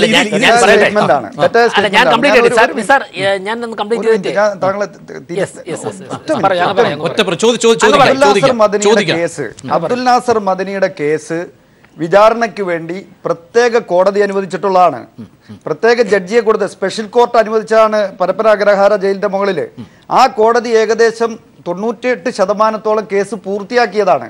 ഈ പൂർത്തിയാക്കിയ സമയത്താണ് പെട്ടെന്ന് ഇടപെടലുകൾ വരികയും ഈ കേസ് എൻ ഐ എക്ക് കൈമാറുകയും ചെയ്തത്. അതിനുശേഷം സംഭവിച്ചത് എന്താ? കേസ് കഴിഞ്ഞ മൂന്ന് വർഷം മുമ്പേ തീരേണ്ടതാണ്. ഈ മൂന്ന് വർഷം മുമ്പ് തീരേണ്ട കേസിലെ സാക്ഷികളെ മൊത്തം റീകോൾ ചെയ്യാൻ തീരുമാനിച്ചു. അങ്ങനെയാണ് വീണ്ടും ഈ മൂന്ന് വർഷം പോയത്. മനസ്സിലായി. ഈ കോടതികളൊക്കെ സ്പെഷ്യൽ കോടതികളാണ്. ഈ കോടതികൾ ഇത് വ്യവസ്ഥിതിയുടെ അങ്ങനെ നീതിന്യായ വ്യവസ്ഥിതിയുടെ പോരായ്മയായിട്ടും അല്ലല്ല എന്റെ പോയിന്റ് കംപ്ലീറ്റ് ചെയ്തോട്ടെ. എന്റെ പോയിന്റ് കംപ്ലീറ്റ് ചെയ്തോട്ടെ. ഒന്ന് ഒരു പ്രതിയെ ട്രയൽ നടത്തുന്നത് ആ പ്രതി ചെയ്ത ഒഫൻസിന്റെ ഗ്രാവിറ്റി അനുസരിച്ചാണ്. എൻ ഐ എ കേസ് അന്വേഷിക്കണം എന്ന് ഏതെങ്കിലും സ്റ്റേജിൽ തോന്നിക്കഴിഞ്ഞാൽ നിയമവിധേയമായി എന്നെ അന്വേഷിക്കും. എന്നെ അന്വേഷിക്കും. എൻ ഐ എ അന്വേഷിക്കാതിരിക്കണമെങ്കിൽ അത്തരത്തിലുള്ള ആക്ടിവിറ്റികൾ ചെയ്യാതിരിക്കണം. ഇതിൽ ഇതിൽ എന്തെങ്കിലും ബയാസ്ഡായിട്ട് എന്തെങ്കിലും ഗവൺമെന്റോ ആ, മറ്റേതെങ്കിലും പൊളിറ്റിക്കൽ പാർട്ടി ഇടപെടുന്നു എന്നുണ്ടെങ്കിൽ സുപ്രീം കോടതി പലവട്ടം പരിഗണിച്ച കേസാണ് അബ്ദുൽ നാസർ മദിനിയുടേത്. ഏത് ഘട്ടത്തിലായാലും ശരി തന്നെ ആ സുപ്രീം കോടതി മുമ്പാകെ അവർക്ക് ചൂണ്ടിക്കാണിക്കാം. സുപ്രീം കോടതി- സുപ്രീം കോടതി. നിങ്ങൾക്ക് ഏറ്റവും മികച്ച അഭിഭാഷകർ തന്നെ പി ഡി പിയുടെ കയ്യിലുണ്ട്. അവർക്ക് അവരുടെ കാര്യത്തിൽ ഏതെങ്കിലും തരത്തിലുള്ള ബയാസ് ഡിസിഷൻ സുപ്രീം കോടതി ചൂണ്ടിക്കാണിക്കാം. എന്തുകൊണ്ട് തെറ്റാണ്. ചെയ്യുന്നില്ല? തെറ്റാണ്. അതും തെറ്റാണ്. ഇത് അബ്ദുൽ നാസർ മദനി എന്ന് പറയുന്നത് ഒരു കേസിൽ ആരോപിക്കപ്പെട്ട ഒരു പ്രതിയാണ്. അപ്പുറത്ത് സർക്കാരിന് വേണ്ടി ഹാജരാകുന്നത് സുപ്രീം കോടതിയിലെ കോൺസിലായാലും ഇപ്പുറത്ത് പ്രോസിക്യൂട്ടർ ആയാലും സർക്കാരിന് വേണ്ടി ഹാജരാകുന്ന ഒരു സർക്കാരിന്റെ ഭാഗമായിട്ട് ഹാജരാകുന്ന അല്ല അങ്ങനെ ഹാജരാകുമ്പോൾ തെറ്റായ സമീപനം. അതായത് ഇപ്പോ ബി ജെ പിയുടെ കാലത്ത് അത് ഞാൻ എടുത്തു പറയുകയാണ്. ബി ജെ പിയുടെ കാലത്ത് അബ്ദുൽ നാസർ മദരിയെ ദേശീയ തീവ്രവാദി എന്നാണ് അവർ വിശേഷിപ്പിച്ചത്. എന്നാൽ അതിൽ നിന്ന് രാജ്യം വെറുതെ കോടതി വെറുതെ വിട്ടതല്ലേ വെറുതെ വിട്ടതല്ലേ? ഞങ്ങളുടെ രാഷ്ട്രീയ നിലപാടാ. ഞങ്ങളുടെ രാഷ്ട്രീയ നിലപാടാ ഇത് ആ സമയത്ത് യഥാർത്ഥ തെളിവുകൾ കേരള ഗവൺമെന്റ് കേരള കോടതി തള്ളിപ്പറ പറയാം മാവോയിസ്റ്റ് മാവോയിസ്റ്റ് ഒന്നും അല്ലല്ലോ നിങ്ങൾ എന്നുള്ളത് ഞങ്ങളുടെ നിലപാടാ. തടിയന്റെ അവിടെ നസീറിന് ട്രെയിനിങ് കൊടുത്ത ദേശീയ തീവ്രവാദി അബ്ദുൽ നാസർ ഞങ്ങളുടെ നിലപാട് രാഷ്ട്രീയ രാജേഷേ, നിലപാടാ. ഞങ്ങൾ മാറ്റേണ്ട ആവശ്യമില്ല. നിങ്ങൾക്ക് അനുകൂലമായിട്ടൊരു വിധി വരുമ്പോ അത് കോടതികളുടെ കൃത്യമായ ഇടപെടലും ഏതെങ്കിലും കേസിൽ നിങ്ങൾക്ക് മനസ്സിന് തൃപ്തിയില്ലാത്ത വിധി വരുമ്പോൾ അത് കൃത്യമായി രേഖകൾ ഹാജരാക്കും പത്ത് വർഷം എടുത്തില്ലേ? നാൽപ്പതിനായിരം പേജ് വരുന്ന കുറ്റപത്രം സമർപ്പിച്ചത്. എത്രയധികം സാക്ഷികളെ പതിനാലായിരത്തിലധികം സാക്ഷികൾ ഹാജരാക്കി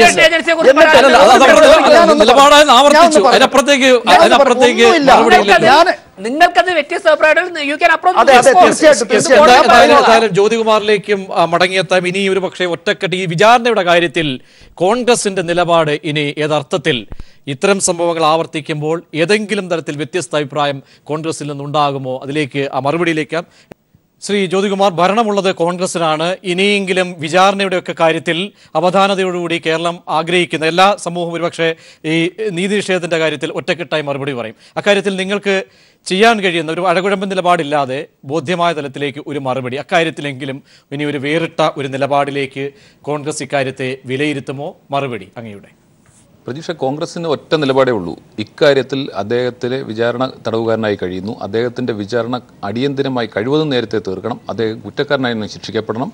നിരപരാധിയാണെങ്കിൽ വെറുതെ വിടണം. അതിനകത്ത് ഒരു തർക്കവുമില്ല അതാണല്ലോ സാമൂഹ്യ നീതി സാമാന്യ നീതി എന്ന് പറയുന്നത്. അക്കാര്യത്തിൽ അദ്ദേഹത്തിന് മിനിമം നീതി കൊടുക്കുവാനെങ്കിലും ഭരണകൂടം പിന്നെ കോടതി തയ്യാറാകണം. കോടതിയുടെ പരിഗണനയിലാണ്. ഇപ്പോൾ പി ഡി പിയുടെ പ്രതിനിധി തന്നെ പറഞ്ഞു തൊണ്ണൂറ്റിയെട്ട് ശതമാനം കേസ് വാദം കഴിഞ്ഞതാണ്. തീർച്ചയായും കഴിവതും നേരത്തെ എത്രയും വേഗം ഈ കേസ് ട്രയൽ നടത്തി അതിന്റെ ജഡ്ജ്മെന്റ് പുറത്തു വരണം അതിന്റെ പേരിൽ ശരിയായാലും തെറ്റായാലും അദ്ദേഹത്തെ നിയമം നിയമത്തിന്റെ വഴിക്ക് തന്നെ പോകണം എന്ന് തന്നെയാണ് കോൺഗ്രസിന്റെ യെസ് അത് വിശ്വാസത്തിലെടുക്കുന്നുണ്ടോ ശ്രീ ഏ, നിസാർ? ഇത് ഈ കോൺഗ്രസിന്റെ നിലപാട് കോൺഗ്രസിന്റെ നിലപാട് എന്ന് അദ്ദേഹം ആവർത്തിച്ചു പറയുന്നു. ഞങ്ങൾ കേരളത്തിലെ കോൺഗ്രസ് നേതൃത്വത്തിന്റെ ഇടപെടൽ ഞങ്ങൾ അത്യധികം സന്തോഷത്തോടെ സ്വാഗതം ചെയ്യുകയാണ്. കാരണം കെ പി സി പ്രസിഡന്റ് ഈ വിഷയത്തിൽ എം എം ഹസൻ ഇടപെട്ടിട്ടുണ്ട്. നമ്മുടെ പ്രതിപക്ഷ നേതാവ് പിന്നെ രമേശ് ചെന്നിത്തല ഇടപെട്ടിട്ടുണ്ട്. ഉമ്മൻചാണ്ടി സാർ ഇടപെട്ടിട്ടുണ്ട്. അതുപോലെ കർണാടകയിലെ സംഘടനാ ചുമതലയുള്ള കെ സി വേണുഗോപാൽ ഈ വിഷയത്തിൽ ശക്തമായ ഇടപെടൽ നടത്തിയിട്ടുണ്ട്. ഇതൊക്കെ ഈ ഇടപെടലുകളൊക്കെ നടന്നിട്ടും ഇപ്പോഴും ഈ വിഷയത്തിൽ ഒരു തിരുത്തൽ വരുത്താൻ കർണാടക ഗവൺമെന്റ് സാധിച്ചാൽ ഈ ഈ പറയുന്ന വ്യക്തികൾക്ക് അവിടെ അവിടെ അവിടെ ഈ ഈ ഒരു പക്ഷേ ഈ തെറ്റായ അല്ല അതിലെ അത്- അല്ല അല്ല അല്ല അല്ല അതിലേക്കാ ഞാൻ പറഞ്ഞു വരുന്നത്. അതിലേക്കാണ് ഞാൻ പറഞ്ഞു വരുന്നത്. ഇവർ പറയുന്ന കോൺഗ്രസിന്റെ നിലപാട്. കേരളത്തിലെ കോൺഗ്രസിന്റെ നിലപാടല്ല കർണാടകയിലെ കോൺഗ്രസിന്റെ നിലപാട്. അത് ബോധ്യപ്പെടുത്തുക അല്ല ഒന്ന് പറഞ്ഞോട്ടെ. ഈ വിഷയത്തിൽ ഞാൻ ഒട്ടും രാഷ്ട്രീയം പറയാൻ വേണ്ടി വന്നതല്ല. രാഷ്ട്രീയം പറയാതിരിക്കുക. കാരണം എന്താ വെച്ചാൽ ഇത് കേരളത്തിന്റെ പൊതു മനസാക്ഷിയുടെ ഒരു വേദനയാണ് അബ്ദുൽ നാസർ മദനിയുടെ സബ്ജക്റ്റ്. അതുകൊണ്ട് തന്നെ അദ്ദേഹത്തിന്റെ നീതി മാത്രം ചർച്ച ചെയ്യുക എന്നുള്ള ഉദ്ദേശത്തോടു കൂടിയാണ് ഞാൻ വന്നത്. എന്നാൽ ഒരു ഒരു പോയിന്റ് രാഷ്ട്രീയം ഒന്നും അതിൽ പറയാതിരിക്കാൻ നിവൃത്തിയില്ല. ഞാൻ നേരത്തെ ഇല്ല തീർക്കാണ്. നേരത്തെ പറഞ്ഞതുപോലെ ബി ജെ പി ഗവൺമെന്റ് ഭരിച്ചിരുന്ന സമയത്ത് അബ്ദുൽ നാസർ മദനി ദേശീയ തീവ്രവാദി എന്നാണ് അവർ കോടതിയിൽ പറഞ്ഞത്. കോൺഗ്രസ് ഭരിച്ച സമയത്ത് അന്തർദേശീയ തീവ്രവാദി എന്നാണ് അവർ കോടതി പറഞ്ഞത്. അബ്ദുൽ നാസർ മദനിക്ക് കേരളത്തിൽ തന്നെ നൂറോളം കേസുകളുണ്ട് ഇന്ത്യയ്ക്ക് പുറത്തുള്ള തീവ്രവാദ സംഘടന ഒരു തെളിവുമില്ലാതെ ഒന്നിന്റെയും അടിസ്ഥാനമില്ലാതെ കോൺഗ്രസ് ഗവൺമെന്റ് അവിടെ കർണാടകയിലെ ഗവൺമെന്റ് കോടതിയിൽ ഈ ഇത് ഇത്തരം നിലപാട് സ്വീകരിച്ചു ഈ നിലപാട് സ്വീകരിച്ചതിന്റെ കോടതികളെ നിരന്തരം തെറ്റിദ്ധരിപ്പിച്ചുകൊണ്ട്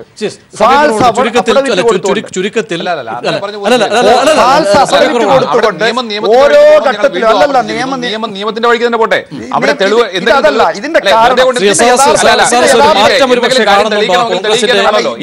കോൺഗ്രസിന്റെ അവിടുത്തെ നിലപാട് കൊണ്ടാണ് ഇപ്പൊ ഈ ഇതെല്ലാം വന്നുള്ളത് ചോദിക്കും അറിയാം. എനിക്കും അറിയാം. നിങ്ങൾക്ക് എല്ലാവർക്കും അറിയാം. SRS പബ്ലിക് എന്ത് പറയുന്നത് അത് കെ ഡി പിയെ കുറിച്ച്. അതാണ് അവരുടെ അഭിപ്രായം.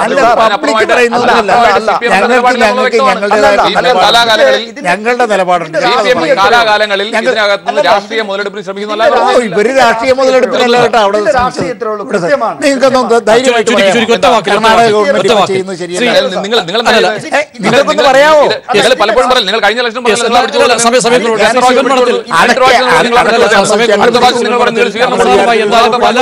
പല ഇടപെടലുകൾ പറഞ്ഞു സമയമില്ല സമയമില്ല. ഇതിന്റെ രാഷ്ട്രീയം ഇതിന്റെ രാഷ്ട്രീയം ഇത്രമാത്രമാണ്. കർണാടകയിലെ ഭൂരിപക്ഷ വർഗീയ തീവ്ര വർഗീയ വോട്ടുകൾ. ഭൂരിപക്ഷ സമുദായത്തിന്റെ തീവ്ര വർഗീയ വോട്ടുകളെ ഏകീകരിക്കുക എന്നുള്ളത് മാത്രമാണ് ഇതിന്റെ രാഷ്ട്രീയം. നേരത്തെ കോൺഗ്രസിന്റെ വാക്കുകൾ. കേവലം ഒരാൾ വന്നിട്ടല്ല എഴുതിക്കൊണ്ടത്. മറുപടി പല ഫോറങ്ങളുമുണ്ട്. സേവ് ഫോറം മദിനി ഫോറം പല രീതിയിലുണ്ട്. ഒരു ഒരു മലയാളി മനസ്സ് അല്ലെങ്കിൽ മലയാളി ആയാലും കൂടി ആരായാലും ഏത് രീതിയിലായാലും സമൂഹത്തിന്റെ ഒരു ഒരു ഇനിയെങ്കിലും ഉണരേണ്ട മദിനിയുടെ കാര്യത്തിൽ ആവശ്യം ഏറുകയാണോ? അതിന് ഏത് തലങ്ങൾ വരെ പോകേണ്ടി വരും ശ്രീ ശിവൻ മഠത്തിൽ? വളരെ ചുരുക്കി. അവസാനം. അല്ല ഞാൻ ആമുഖമായി പറഞ്ഞതാണ്. മദനി കുറ്റക്കാരനാകാം അല്ലാതിരിക്കാം. അദ്ദേഹത്തിന് വിചാരണ നടത്തി ഇന്ത്യയിലെ നിയമസിസ്റ്റത്തെ കുറിച്ച് രാജേഷ് പറഞ്ഞായിരുന്നു. ഇന്ത്യയിലെ നിയമ സിസ്റ്റത്തിൽ നിന്നുകൊണ്ട് തന്നെയാണല്ലോ അതിഭീകരമായ കൊടുംക്രൂരമായ കൃത്യങ്ങൾ ചെയ്തവരെയൊക്കെ ട്രയൽ നടത്തിയിട്ട് നിയമത്തിന്റെ വഴിയിലേക്ക് വിട്ടത്. അങ്ങനെ നിങ്ങൾ മദനിയുടെ കാര്യത്തിൽ നിങ്ങൾ വിടൂ. ആരും എതിർക്കുന്നില്ല. പക്ഷേ ഇവിടെ ചർച്ച ചെയ്യപ്പെടുന്ന ഒരു കാര്യം അദ്ദേഹത്തിന്റെ മകന്റെ കല്യാണത്തിൽ പങ്കെടുക്കുക എന്നുള്ളത് അദ്ദേഹത്തിന്റെ മകൻ കുറ്റവാളിയല്ല. അദ്ദേഹത്തിന്റെ കുടുംബത്തിൽ പലരും കുറ്റവാളികളല്ല. ഈ സമൂഹം ഈ ഒരു ധാർമ്മികതയിൽ വിശ്വസിക്കുന്ന ഒരു സമൂഹം ഈ രാജ്യത്തുണ്ട്.